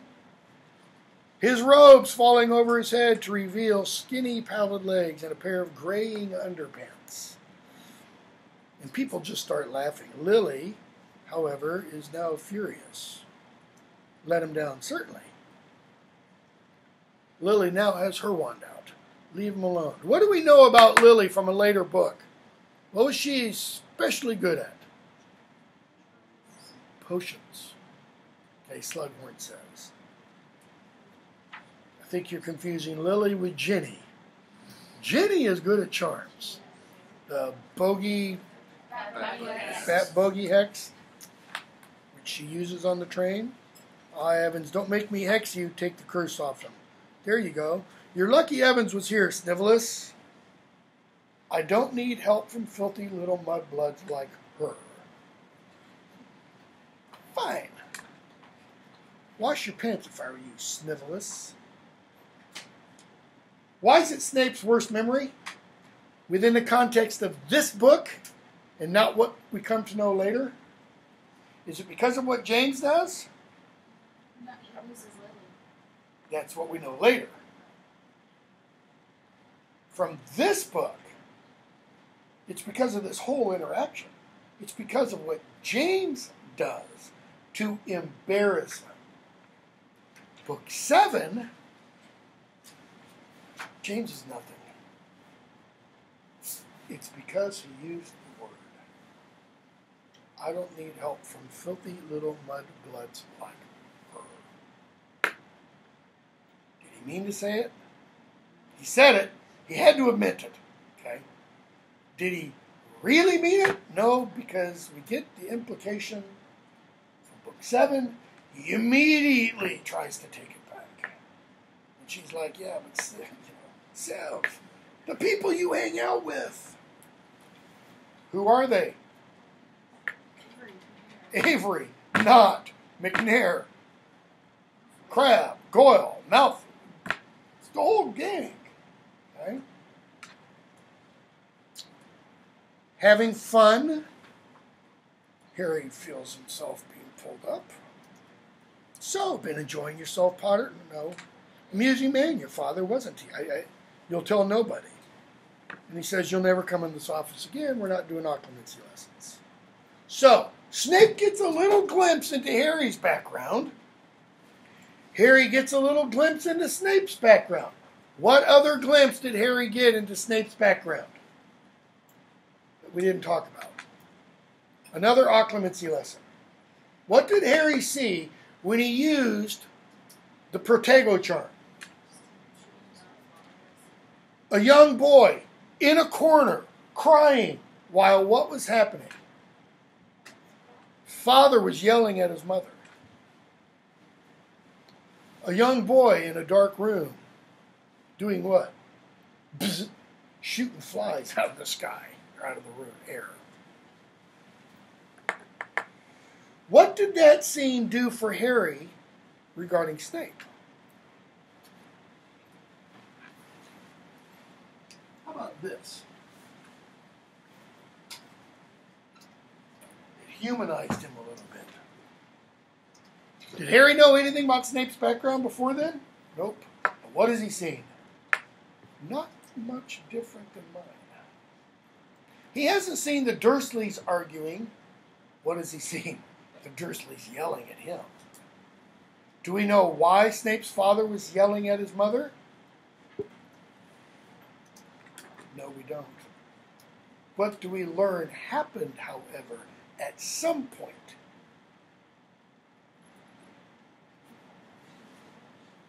Okay, and what did his father do? Left. He left. It's interesting how many. I brought this up in a class last spring. This is the first time I thought about it. We're going to see in what is it, book seven or book six? Book seven. We're going to see the marriage of Fleur and Bill. Right? Anybody remember any of the actual vows? Bonded for life, we're told. Is this bond like an unbreakable vow? You know, what happens if you break the unbreakable vow? you die. Okay? I don't know if it is or not. But we never hear, ever, books 1 through 7, we never hear, see, etc., the word divorce. we do have a lot of broken families, and I mean broken single parent. I don't mean, I'm not saying single parent families cannot be good. Okay? I'm saying within the context of the novels, two parent families are always, or almost always, better. Where are the broken families?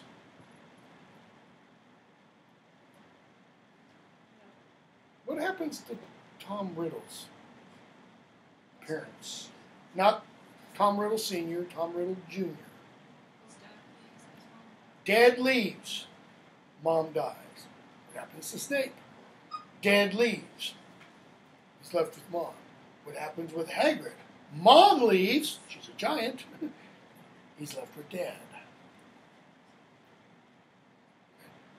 Those are the only three that I can think of. Seamus only mentions his mother. He doesn't talk about his father at all. That's a a that's right.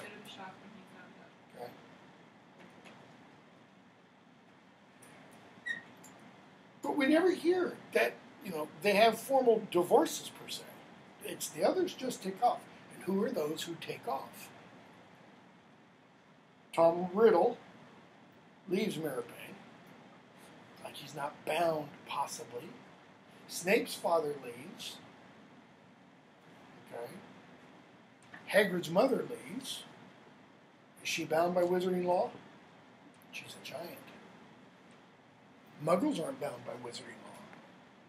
But are witches and wizards bound by some kind of unbreakable vow? I don't, I don't, I don't know. Um, shoot, everything closed. So, skip a bit more because I need to get to the important stuff. Um, career advice. There's really one good thing about career advice. It's when McGonagall and Dolores Umbridge start, you know, going at it over Harry. You know, McGonagall, if it's the last thing I do, he's going to become an Auror. Does he become an Auror? Does he? It's not in the books. It's not in the epilogue. And I don't think it's implied, at least from what I've read about Harry Potter and the Cursed Child. It's like he's some low level ministry official, is what I have read. I'm not, I'm not positive. I mean, that's literally that's what I've read in a couple of reviews. I remember what his job is. But I don't know if you should tell me about Okay. We'll, we'll literally find out in a week. We'll get the books. Yeah, you'll get the book on Saturday or Sunday. Um, Grawp, which I'm going to skip. They're owls. And then out of the fire. What does out of the fire imply? Into the frying pan. Uh, what's the fire that they go out of? What happens in Harry's History of Magic Owl? Falls asleep, has a dream. What's the dream or vision? Sirius is being held in the Ministry of Magic. He's going to be tortured to death by Lord Voldemort. Okay? So what does Harry come up with? What's he going to do? He's going to go to the Ministry of Magic. Okay? Who stops him? And how? Hermione. How? She finally comes out to saying it. Harry, you got a bit of Messiah complex, man. You think you're a savior. I mean, okay, so you've been saving people a lot. What does she attempt to get him to do? Louder. think it through. Think it through. What else? Check, like, Proof. Get proof. Okay? What's the proof he gets? They go to whose office? They go to Umbridge's office. They use the Floo. They speak to Kreacher. Kreacher says, Master has left. Master will not be returning. you know. For Harry, that's good enough. They get caught. Umbridge comes in with Malfoy and the others. What does she do? So I'll get the information out of the water. And what does she do? Okay, she asks Snape for Veritaserum, but Snape doesn't have any more, he says. Cruciatus curse? Hermione says, Stop, I'll tell you where. Into the fire. What's the fire? Is the frying pan there in Umbridge's office? And then they leave from there and they go off into the Forbidden Forest. What happens in the Forbidden Forest? Okay, Grawp comes, all the centaurs come, and Umbridge gets her what? Her comeuppance by referring to them as filthy half breeds. And they kind of lift her up like this and let's take her off into the forest. A bunch of centaurs. You know anything about centaurs from Greek mythology and stuff? Centaurs and women. Off into the forest, a whole herd of them. And I think when we next see Dolores Jane Umbridge, her hair isn't all nicely coiffed and stuff. It's kind of, you know, sticking out a little oddly. Um, so we get the Department of Mysteries. Who goes? And why? Gotta get this finished. Who goes?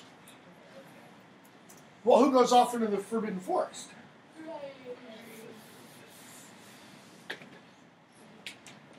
Obviously, the triumvirate Harry, Ron, Hermione, Ginny, Who's, who's lying?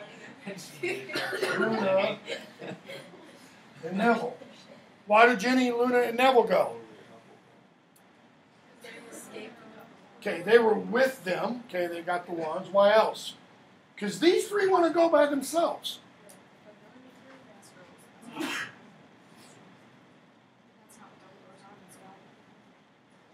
Was it all for nothing? Was Dumbledore's army merely for show? You know, and Harry's probably going, okay, okay, okay. You know, Ginny, we can let go. Yeah, Luna, Neville, really, come on.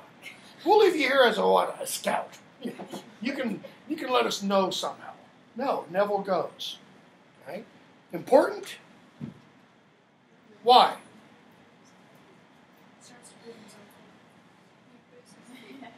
He proves he's capable. Okay? He's not necessarily technically capable in terms of all the spells he uses. But what does he have? Resilience. Several of you wrote about resilience on that first. Um, come on, brain, work. Field trip paper. Man. What else does he have? Think of the Sorting Hat song.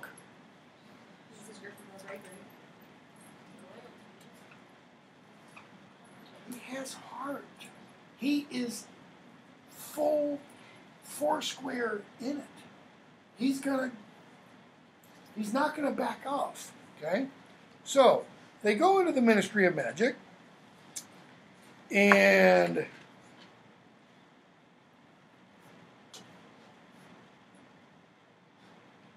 they go down to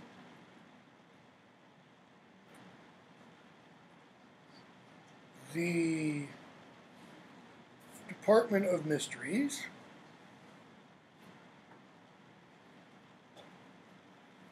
Large circular room, doors all the way around. Um,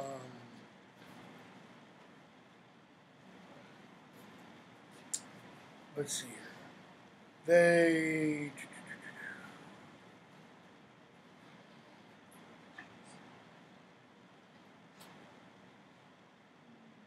go into the first room with a big glass tank of deep green water. Ron, what are those things? Brinny, Ginny, are they fish? Luna, ooh, aquavirius maggots. Hermione, no, they're brains. Okay, so the first room they go into is the brain or mind room. Okay? Wonder what they're doing with them. Okay, they're in the Department of Mysteries. Okay, Harry, this isn't the right room. We need to try another door. Ron, there are other doors here too. Harry, yeah, but I went through that dark room into the second one, so I think we should go back there. So they go back into the round room. Hermione makes a mark on the door. Door clicks shut. They go to another room. Okay? This one, larger than the last, dimly lit, rectangular, and in the center of it was sunken, forming a great, great stone pit some 20 feet below. So they go into this room, and it's got like steps going down to the floor, and then on the other side, steps coming up because it's a circular room. Down here, there's like a little dais with you know, steps leading up to it, and on it is an arch, and hanging from the arch is a curtain.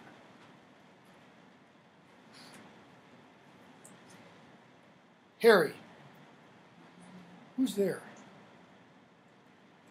No answering voice, but the veil continues to flutter. There's no wind in this room. There's no air conditioning, but the veil is moving. Hermione, careful. Harry scrambled down the benches one by one. He looks at the archway. Veil is moving. Sirius? He had the strangest feeling there was someone standing right behind the veil on the other side. Gripping his wand very tightly, he edged around the dais. There was nobody there. So Harry walks around it.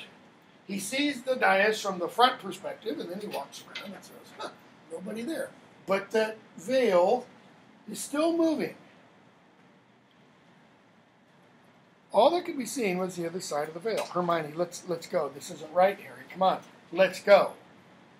She sounded scared, much more scared than she had in the room where the brain swam.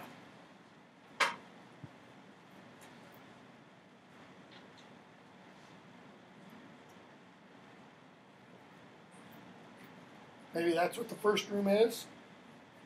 But the archway had a kind of beauty about it, old though it was. The gently rippling veil intrigued him. He felt a very strong inclination to climb up on the dais and walk through it. That's the first room they go into. What's the second room?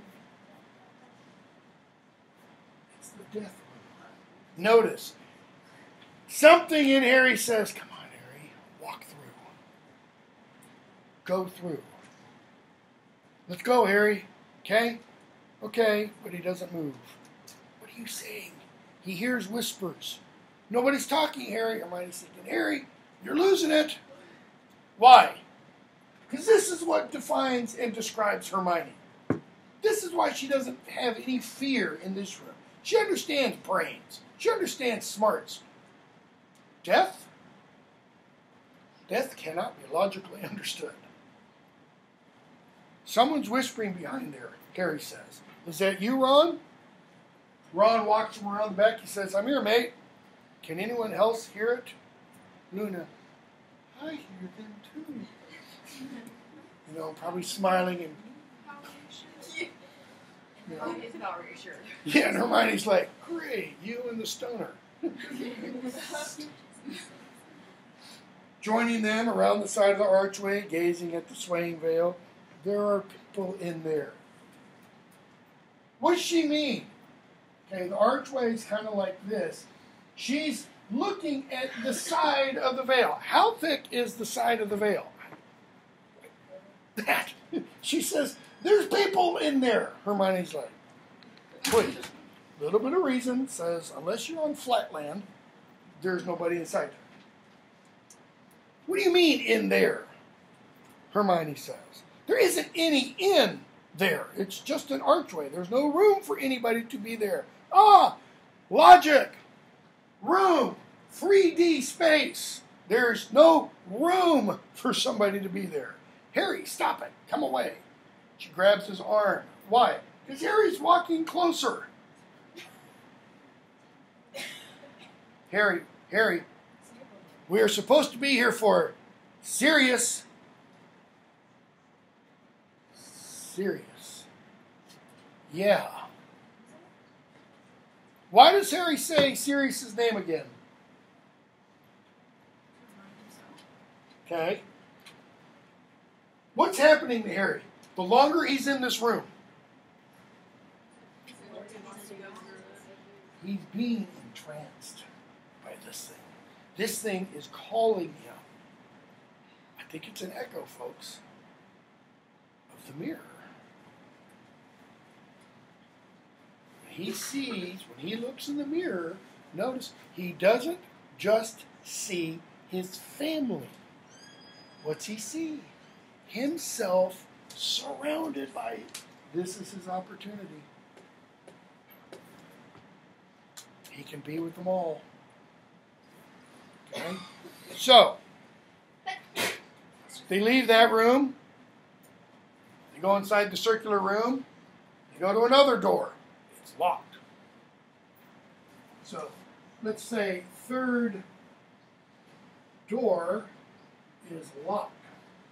What do we come to learn that door is later? It's a room, Dumbledore, who says, whose door is always locked. Then why do they have it? Why is it a room in the Department of Mysteries if you can't get in it because it's always locked? Okay? So, they go back into the round room. Notice Hermione tries Alohomora, Harry tries Sirius's little magic. This opens all doors lock, all doors knife, and it doesn't. Okay? So they open the next door, and there's dancing, sparkling light. He sees clocks all over. What room is this? It's not the clock room. It's time. You know, try and sit and think about time for a. Again, it's something that is unfathomable. Okay? Harry says, This is it. They run down, and eventually, where do they get to? The Hall of Prophecy. And Malfoy shows up. Senior, not junior. And they have a nice little battle. We're going to skip a whole bunch. They see the on the prophecy. Uh, come on, Dan.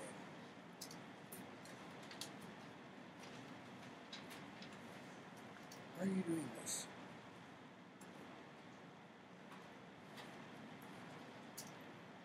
SPT to APWBD. Dark Lord and question mark. SPT, Sybil, I don't remember her middle name, Trelawney, to Albus Percival Wulfric Brian Dumbledore, Dark Lord, and nope. Originally, it was Dark Lord and question mark because we come to find out it could apply to two different people. Harry Potter gets added later. When does Harry Potter get added? After Dumbledore tries to curse Harry Potter. Uh, Voldemort tries to curse Harry Potter. Sorry, I'll do that a lot. So, Harry pulls down, takes the prophecy. They have the uh, big battle. We're going to skip a whole bunch. How, how are the members of the DA doing against the Death Eaters? They're 15 years old. Two or fourteen. They're holding them off. Do they really need the Order of Phoenix to come? Yeah, they do. In fact, not just the Order of the Phoenix. They need the big guy. You know, Bring in. Dumbledore, not Hulk. Okay? Also, I would love to. see Though Hulk would be good. Puny little god kind of a puny little wizard. Wham, wham, wham, wham. That'd be a cool mashup, you know. Think about that. So, Dumbledore shows up, and what do we see again? We don't want to anger Albus Dumbledore, you know. Um, I'm trying to get to the next chapter, just about. We go back into the death room.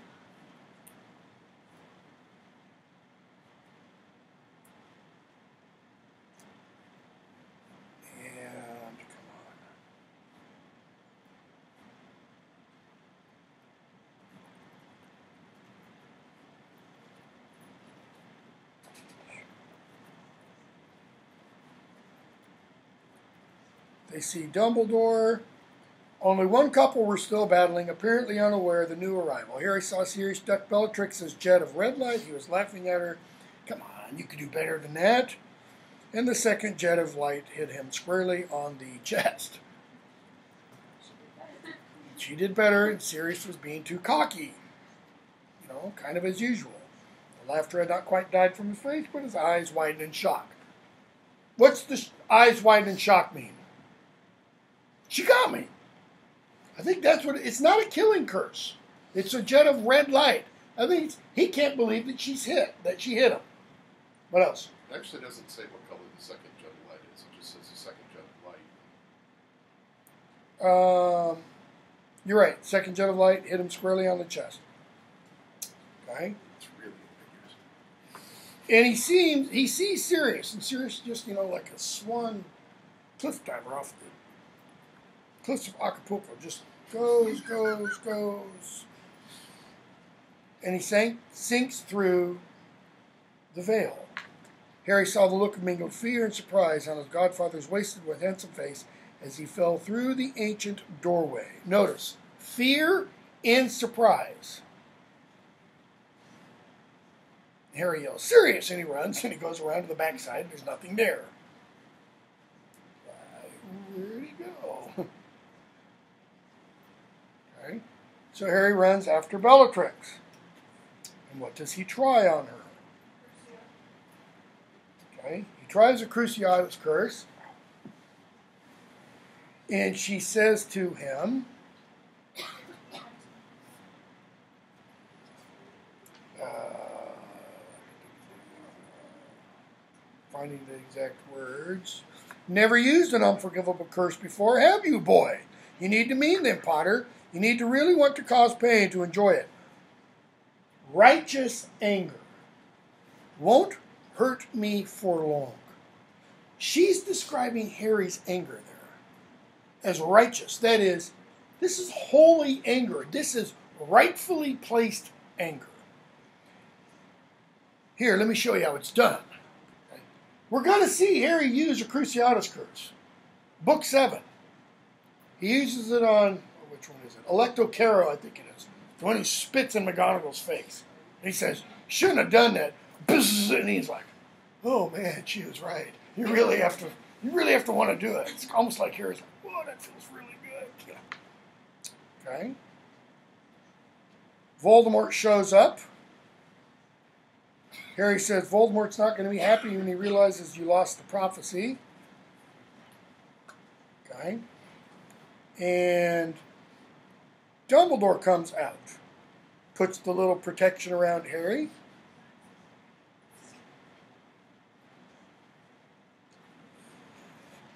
And Dumbledore and Tom start to talk. It was foolish to come here tonight, Tom. Aurors are on their way, at which time I shall be gone and you dead. He sends a killing curse, and Dumbledore, we're told, just flicks his. The force of the spell that emanated from it was such that Harry, though shielded by a stun guard, felt his hair stand on end as it passed. And this time, Voldemort was forced to conjure a shining silver shield. The spell, whatever it was, caused no visible damage, but a deep gong-like sound. Gong-like sound. You do not seek to kill me, Dumbledore? Above such, above such brutality, are you? We both know there are other ways of destroying a man, Tom. Merely taking your life would not satisfy me. It's a slightly darker perspective on Dumbledore. You're quite wrong. There is nothing, he says, worse than death. Dumbledore, you're quite wrong. Indeed, your failure to understand that there are things much worse than death has always been your greatest weakness. What are some of those things much worse than death? Other than obviously the Dementor's kiss. Because that's not what he's talking about. That's not what Dumbledore is talking about. What is a thing worse than death? Think of his last bit of advice to Harry Potter in book seven. Don't pity the dead, Harry. Pity the living who live without love. Pity the living live without love. And what we tend to want to do is we want to make, you know, images in our mind of these great, grand kind of images of people who live without love, like Voldemort. Do we do we need to do that? Where do we see daily basis? You can't avoid it in London. The homeless. I can't avoid it in Murfreesboro. 120,000 people. We've got more homeless than I ever saw growing up in San Jose, California, Silicon Valley, which had a million people. Never, ever saw homeless in the 60s, 70s, 80s. Ever. I see on average 10 to 15 homeless people a day, different people in Murfreesboro. I see probably 20 to 50 here, depending on what part of London I'm in. Pity those who live without love, Dumbledore says. Voldemort tries to kill him again. Okay? And Voldemort takes control of Harry. His scar burst open. He knew he was dead, locked in the coils of a creature with red eyes. And Harry hears the creature speak. Kill me now, Dumbledore. Blinded and dying, every part of him screaming for release, Harry felt the creature use him again. If death is nothing, Dumbledore, kill the boy. Harry, let the pain stop. Is he only talking about this particular specific pain? No. No, he's not. Let him kill us. End it, Dumbledore. Death is nothing compared to this. And I'll see Sirius again. What? What does Harry mean, I'll see Sirius again?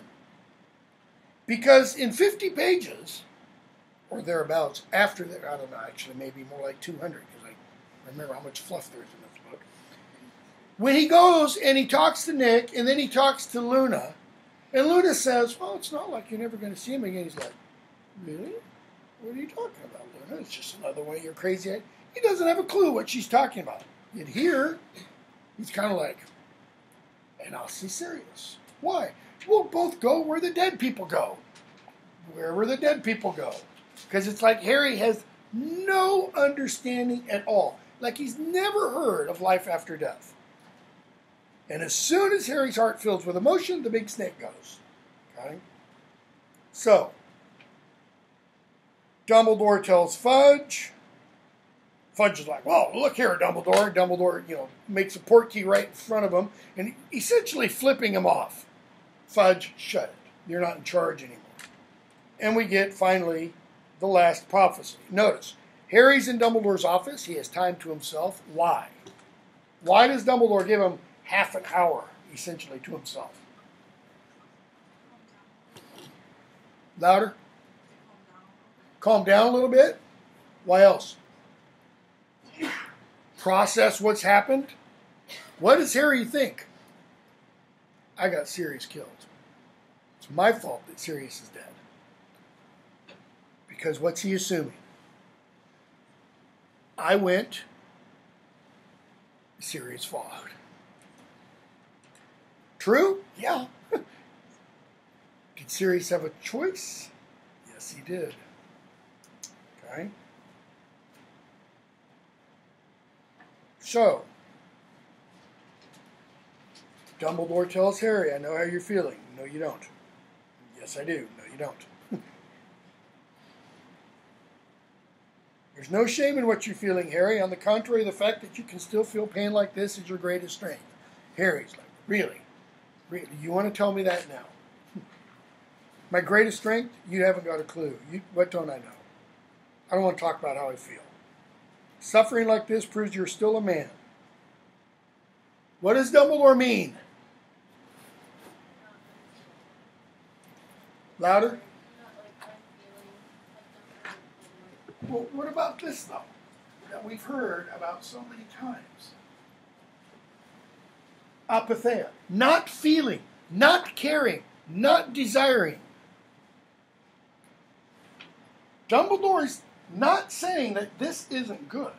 He is saying it's your ability to suffer that makes you human. Our society, American society, I won't talk about English society, tries to do what with suffering?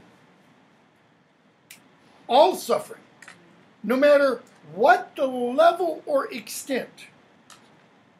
The suffering of a hangnail to the suffering of a child dying of cancer or something else. I watched Lone Survivor last night. Talk about suffering. Okay. And I've got a friend who is in the Marines, fought in the Battle of Fallujah, been through hell and back. PTSD, yeah. Talk about suffering. Okay. Then I don't want to be human, Harry says. If this is what makes me human, no, I don't want it. I'll end it right now. Why? Harry's thinking suffering isn't worth it. The pain isn't worth it. Harry thinks he's suffering now. He hasn't begun to know suffering. Where does he suffer the greatest? Rain mentioned it the other day. When he goes to his parents' grave and he feels nothing. He feels nothing. He knows they're dead. They can do nothing for him. He can't even, you know, look in a mirror and have him. Because even if he had the mirror there, I don't think Harry would see his mother waving at him. I think he'd see a big, giant middle finger at him. Because that's what he thinks at that point in the seventh book the universe is doing to him. It's flipping him off. It's saying, You're nothing. And then you die. Okay? Harry, I don't care. I've had enough. I've seen enough. I want out. I want it to end. I don't care anymore. Picks up a table, starts just starts destroying the office. Dumbledore, you do care. You care so much you feel as though you will bleed to death. I don't. You do. I don't. You do. And Dumbledore says, by all means, keep breaking all my stuff. Why? I have too much stuff to begin with. What's Dumbledore saying? Get it out. You're allowed to feel this way. What else? It's not our stuff. That's imp- our stuff means nothing. Stuff meaning this stupid thing, this stupid thing, this stupid thing. Look at the people on the street. You think they go home from out there begging to nice little apartments? No, they don't.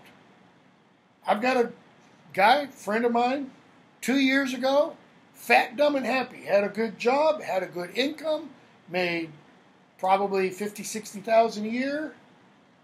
Overnight, loses his job because of downsizing. And within six months, homeless on the street. Quadruple bypass surgery while still homeless. Just last night, two nights ago, gets kicked out of the homeless shelter he's in because he's allergic to the cleaning solution that they force everybody to use to help clean the shelter. He's been in and out of the hospital for the last two months. Finds out allergic reactions to this stuff because he can't use the cleaner out literally on the street. No place. Okay? But he and I've had several conversations. The more you get rid of, the more you lose, the richer you become. Because what no longer happens? You're no longer weighted down by all this stuff. What's going to happen to Harry by the end of book seven?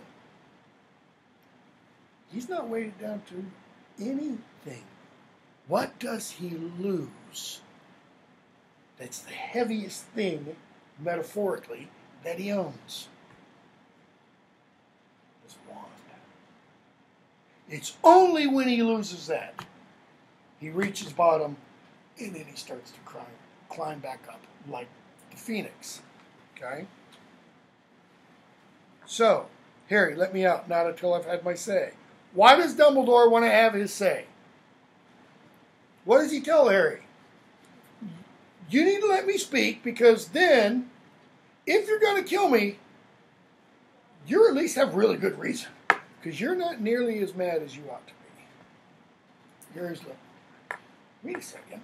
Pause for a moment. I'm I'm really burning mad, and you're saying you're going to pull out the Ronco lighter fluid and just go whoosh, you know, stoke. The, yep, that's exactly what I'm going to do, Harry. It's not your fault that Sirius died tonight. He says it's partially my fault. I won't take full blame. Why? To take full blame is to take all agency away from Sirius. Why does Dumbledore take blame? What does he say he did? What can you not do to especially people like Sirius? Big black dogs don't like little small cages. I know, I have a big black dog, 130 pound black Labrador. Does not like cages or harnesses of any kind. Okay? Dumbledore is saying he tried to put a leash on Sirius. What was Sirius's one job in life after James and Lily died? Protect Harry. If it was the last thing he was going to do, it was protect Harry. Dumbledore should have known that. Okay? So, Dumbledore finally says, Harry, I owe you an explanation. An explanation of what? You know, that first year you came and you asked me a question at the end of the year. Said, and I wouldn't tell you then. So I thought I could tell you the next year.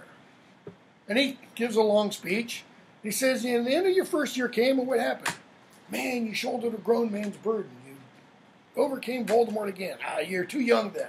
So your second year came, and you did it again. But you're still too young. See where I'm going here, Harry? Does Harry ever see where he's going? He's completely clueless. Okay. So,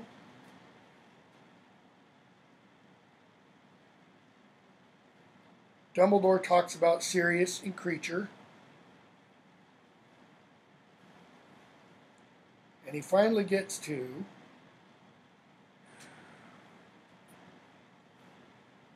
saying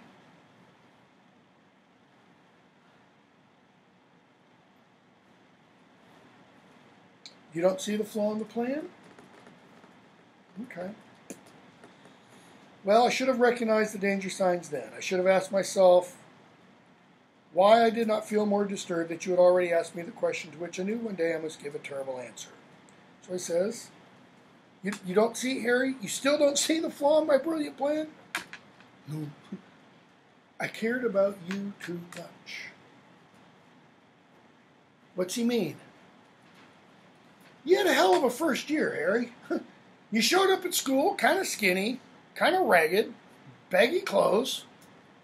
You haven't had a good upbringing. So, you know, I wasn't going to burden you. And then your second year, you know, you, you got a knack for getting into trouble, kid. I wasn't. Third year, really, stop now, please. Fourth year, you see Voldemort come back. I cared more for your happiness than your knowing the truth, more for your peace of mind than my plan, more for your life than the lives that might be lost if the plan failed. I acted exactly as Voldemort expects we fools who love to act. What does he mean by we fools who love? What do we fools who love do? We make irrational decisions based on love. What does that mean? We make irrational decisions. Okay? What else? We want to protect those we love. Screw those we don't know about. What's he saying? Harry, I wanted to protect you. Yeah, even if it meant some nameless, fameless people in the future would die. He protects Harry. Who are some of the nameless, faceless people in the future who die? Sirius. In the future from book one. Sirius. Who else? Cedric. Remus. Tonks. Dobby.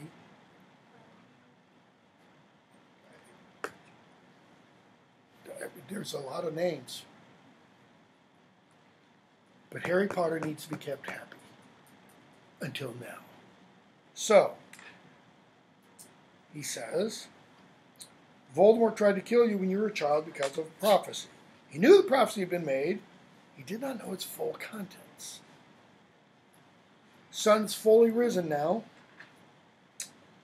Harry, uh, I, I broke the prophecy. I didn't mean to. Threw it to Neville.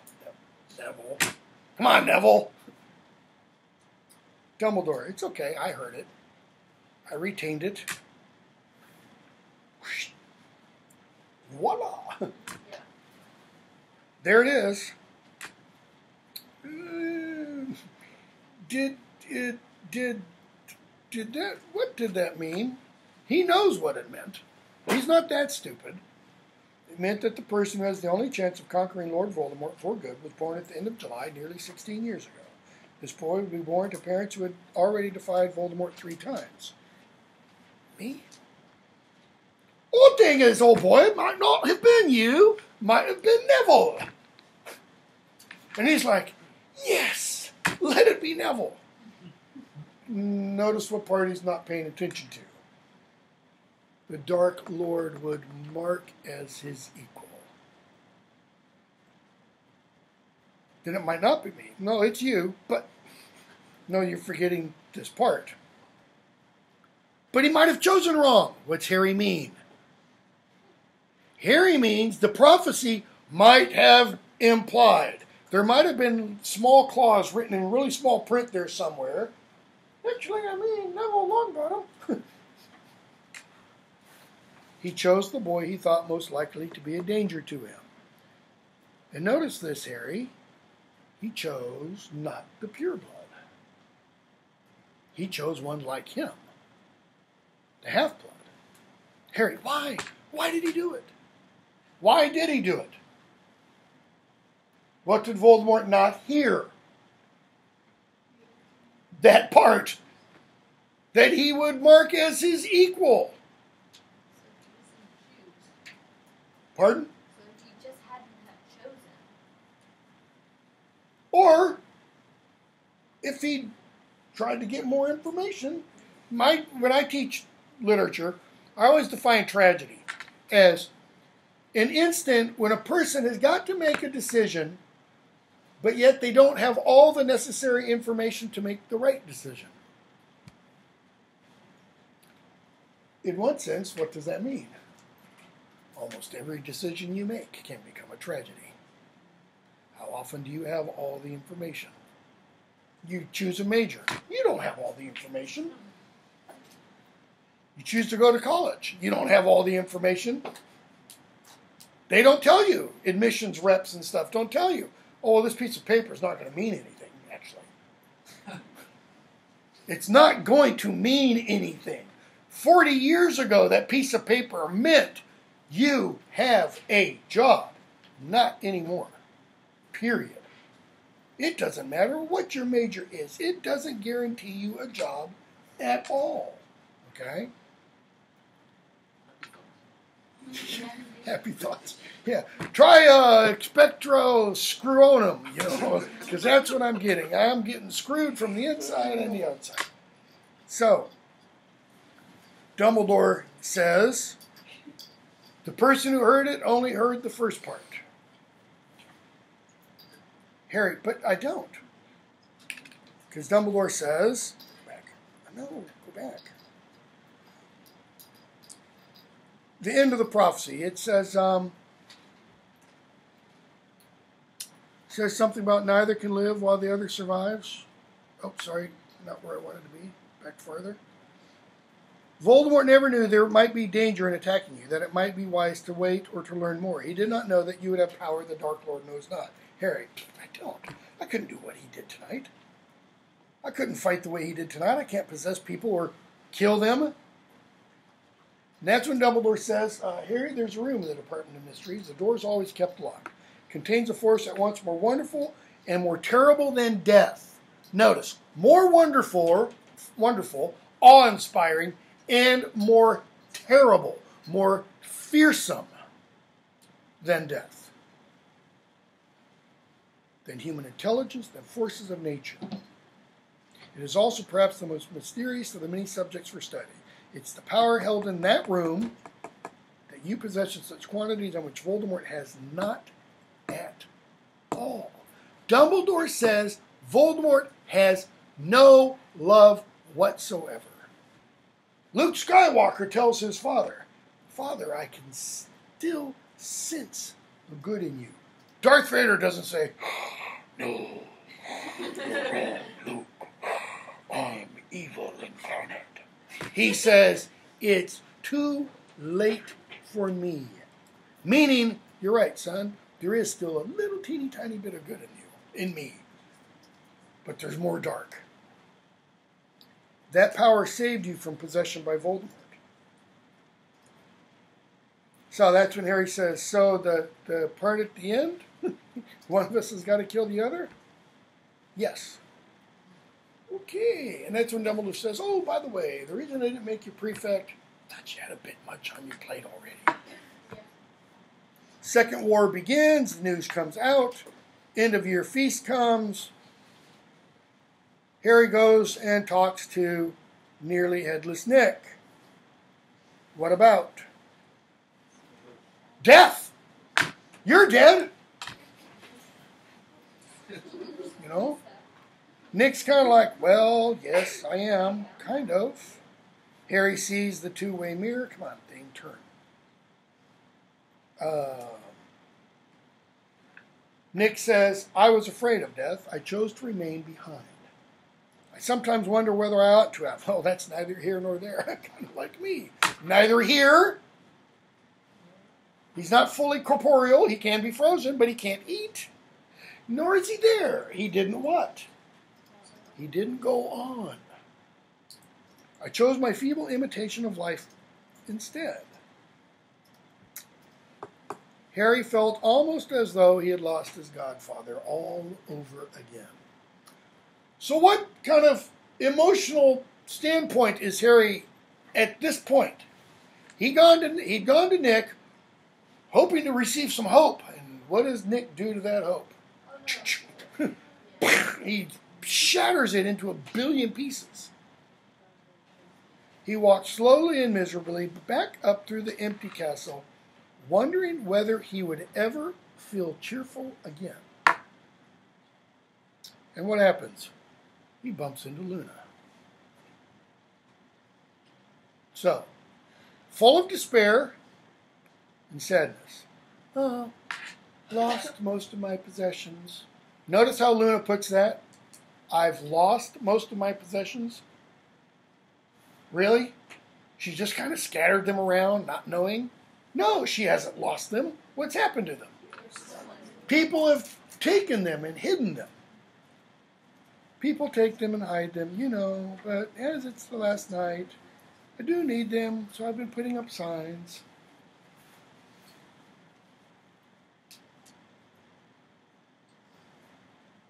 And Harry's odd feeling arises in him, an emotion quite different from the anger and grief.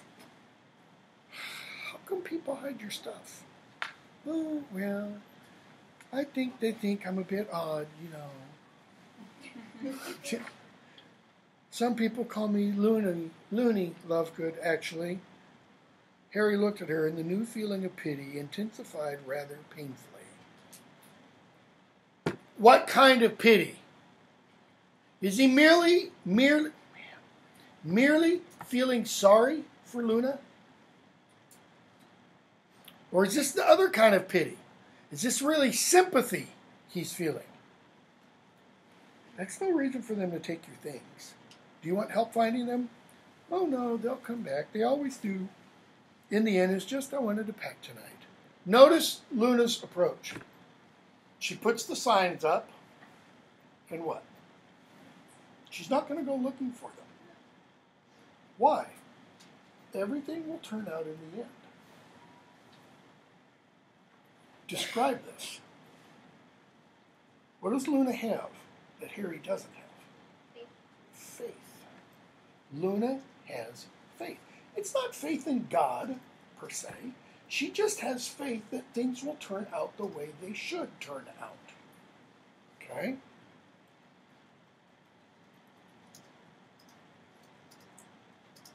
Harry, when she asked, Why aren't you at the feast? Didn't feel like it. And she says, Oh, the man the Death Eaters killed, he was your godfather, wasn't he? He nods. Harry, who have you seen that's died? Well, my mother, quite extraordinary. One of her spells went badly wrong one day. I was nine. I'm sorry. Yes, it was rather horrible. Still feel very sad about it sometimes. But I've still got Dad. And anyway, it's not as though I'll never see Mum again, is it? Isn't it? says Harry uncertainly. Notice the adverb uncertainly. What does that mean? Without certainty, without assurance. Harry doesn't have the assurance, the, the certainty that Luna does. And yet, when he was being possessed by Voldemort, just kill me now, Dumbledore, because then I'll be dead. The pain will be over, and I'll be with Sirius. Maybe all he meant then was, and I'll just be dead. Whatever dead is. She shakes her head. How? In disbelief. Her disbelief is not in her belief, her disbelief is in Harry. How in the world could you not believe this, Harry? She seems to be saying. Well, come on. You heard them just behind the veil? Didn't you? Notice what she heard behind the veil does what for Luna? Gives her hope. What else? I think I heard it over here. It reassures, it fosters her assurance, it gives her certainty. You mean Harry's not sure what she means. In that room with the archway, they were just lurking out of sight, that's all. You heard them. Notice that's not a question, that last statement. It's a statement. You heard them. She heard Harry say, Who are you? What are you saying? And Harry asked, Does anybody else hear them? I do. Come on, Harry. We both heard these voices. They looked at each other. Luna was smiling slightly, meaning she has that kind of lost look on her face. Harry did not know what to say or to think. Luna believed so many extraordinary things. Yet he had been sure he had heard voices behind the veil too. You sure you don't want to help me look for your stuff? Oh no. I'll just go down, have some pudding, and wait for it all to turn up. It always does in the end. That's her certainty. That's her assurance. Okay? Things work out well. She walks away from him, and as he watched her go, he found that the terrible weight in his stomach seemed to have lessened slightly. What has Luna just given Harry? Hope. A lot? Is he now walking around skipping downstairs because he has a firm, certain, certain, assured belief that all will be well? That he and Sirius will be united, that he and mom and dad will be united in the great never after, and it'll be like a giant Hogwarts, and you know, God will be like a smiling double.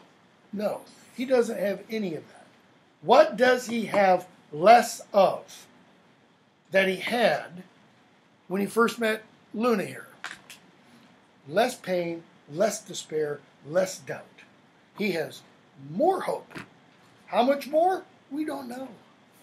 It's more than he had before. How much hope did he have before? He felt like he would never be cheerful again. That's not much hope. That's if you don't have a feeling like you will ever be cheerful again, well, what kind of what does it describe you as? Kind of within the novels. Dementor kissed. That's kind of what it's described as. But she's planted a seed in Harry, right? So we get the end of the year. I don't think there's really anything much left to talk about. Um, Lupin and the others are going to have a talk with um, the Dursleys, and we get the beginning of the next book. We have eight minutes. We won't go into a lot. How does the next book begin? Say that again. The other minister. Who is the other minister? Uh-uh. The other minister is not the Muggle Prime Minister. It's the magical one. We begin with the Muggle Prime Minister and what's going on.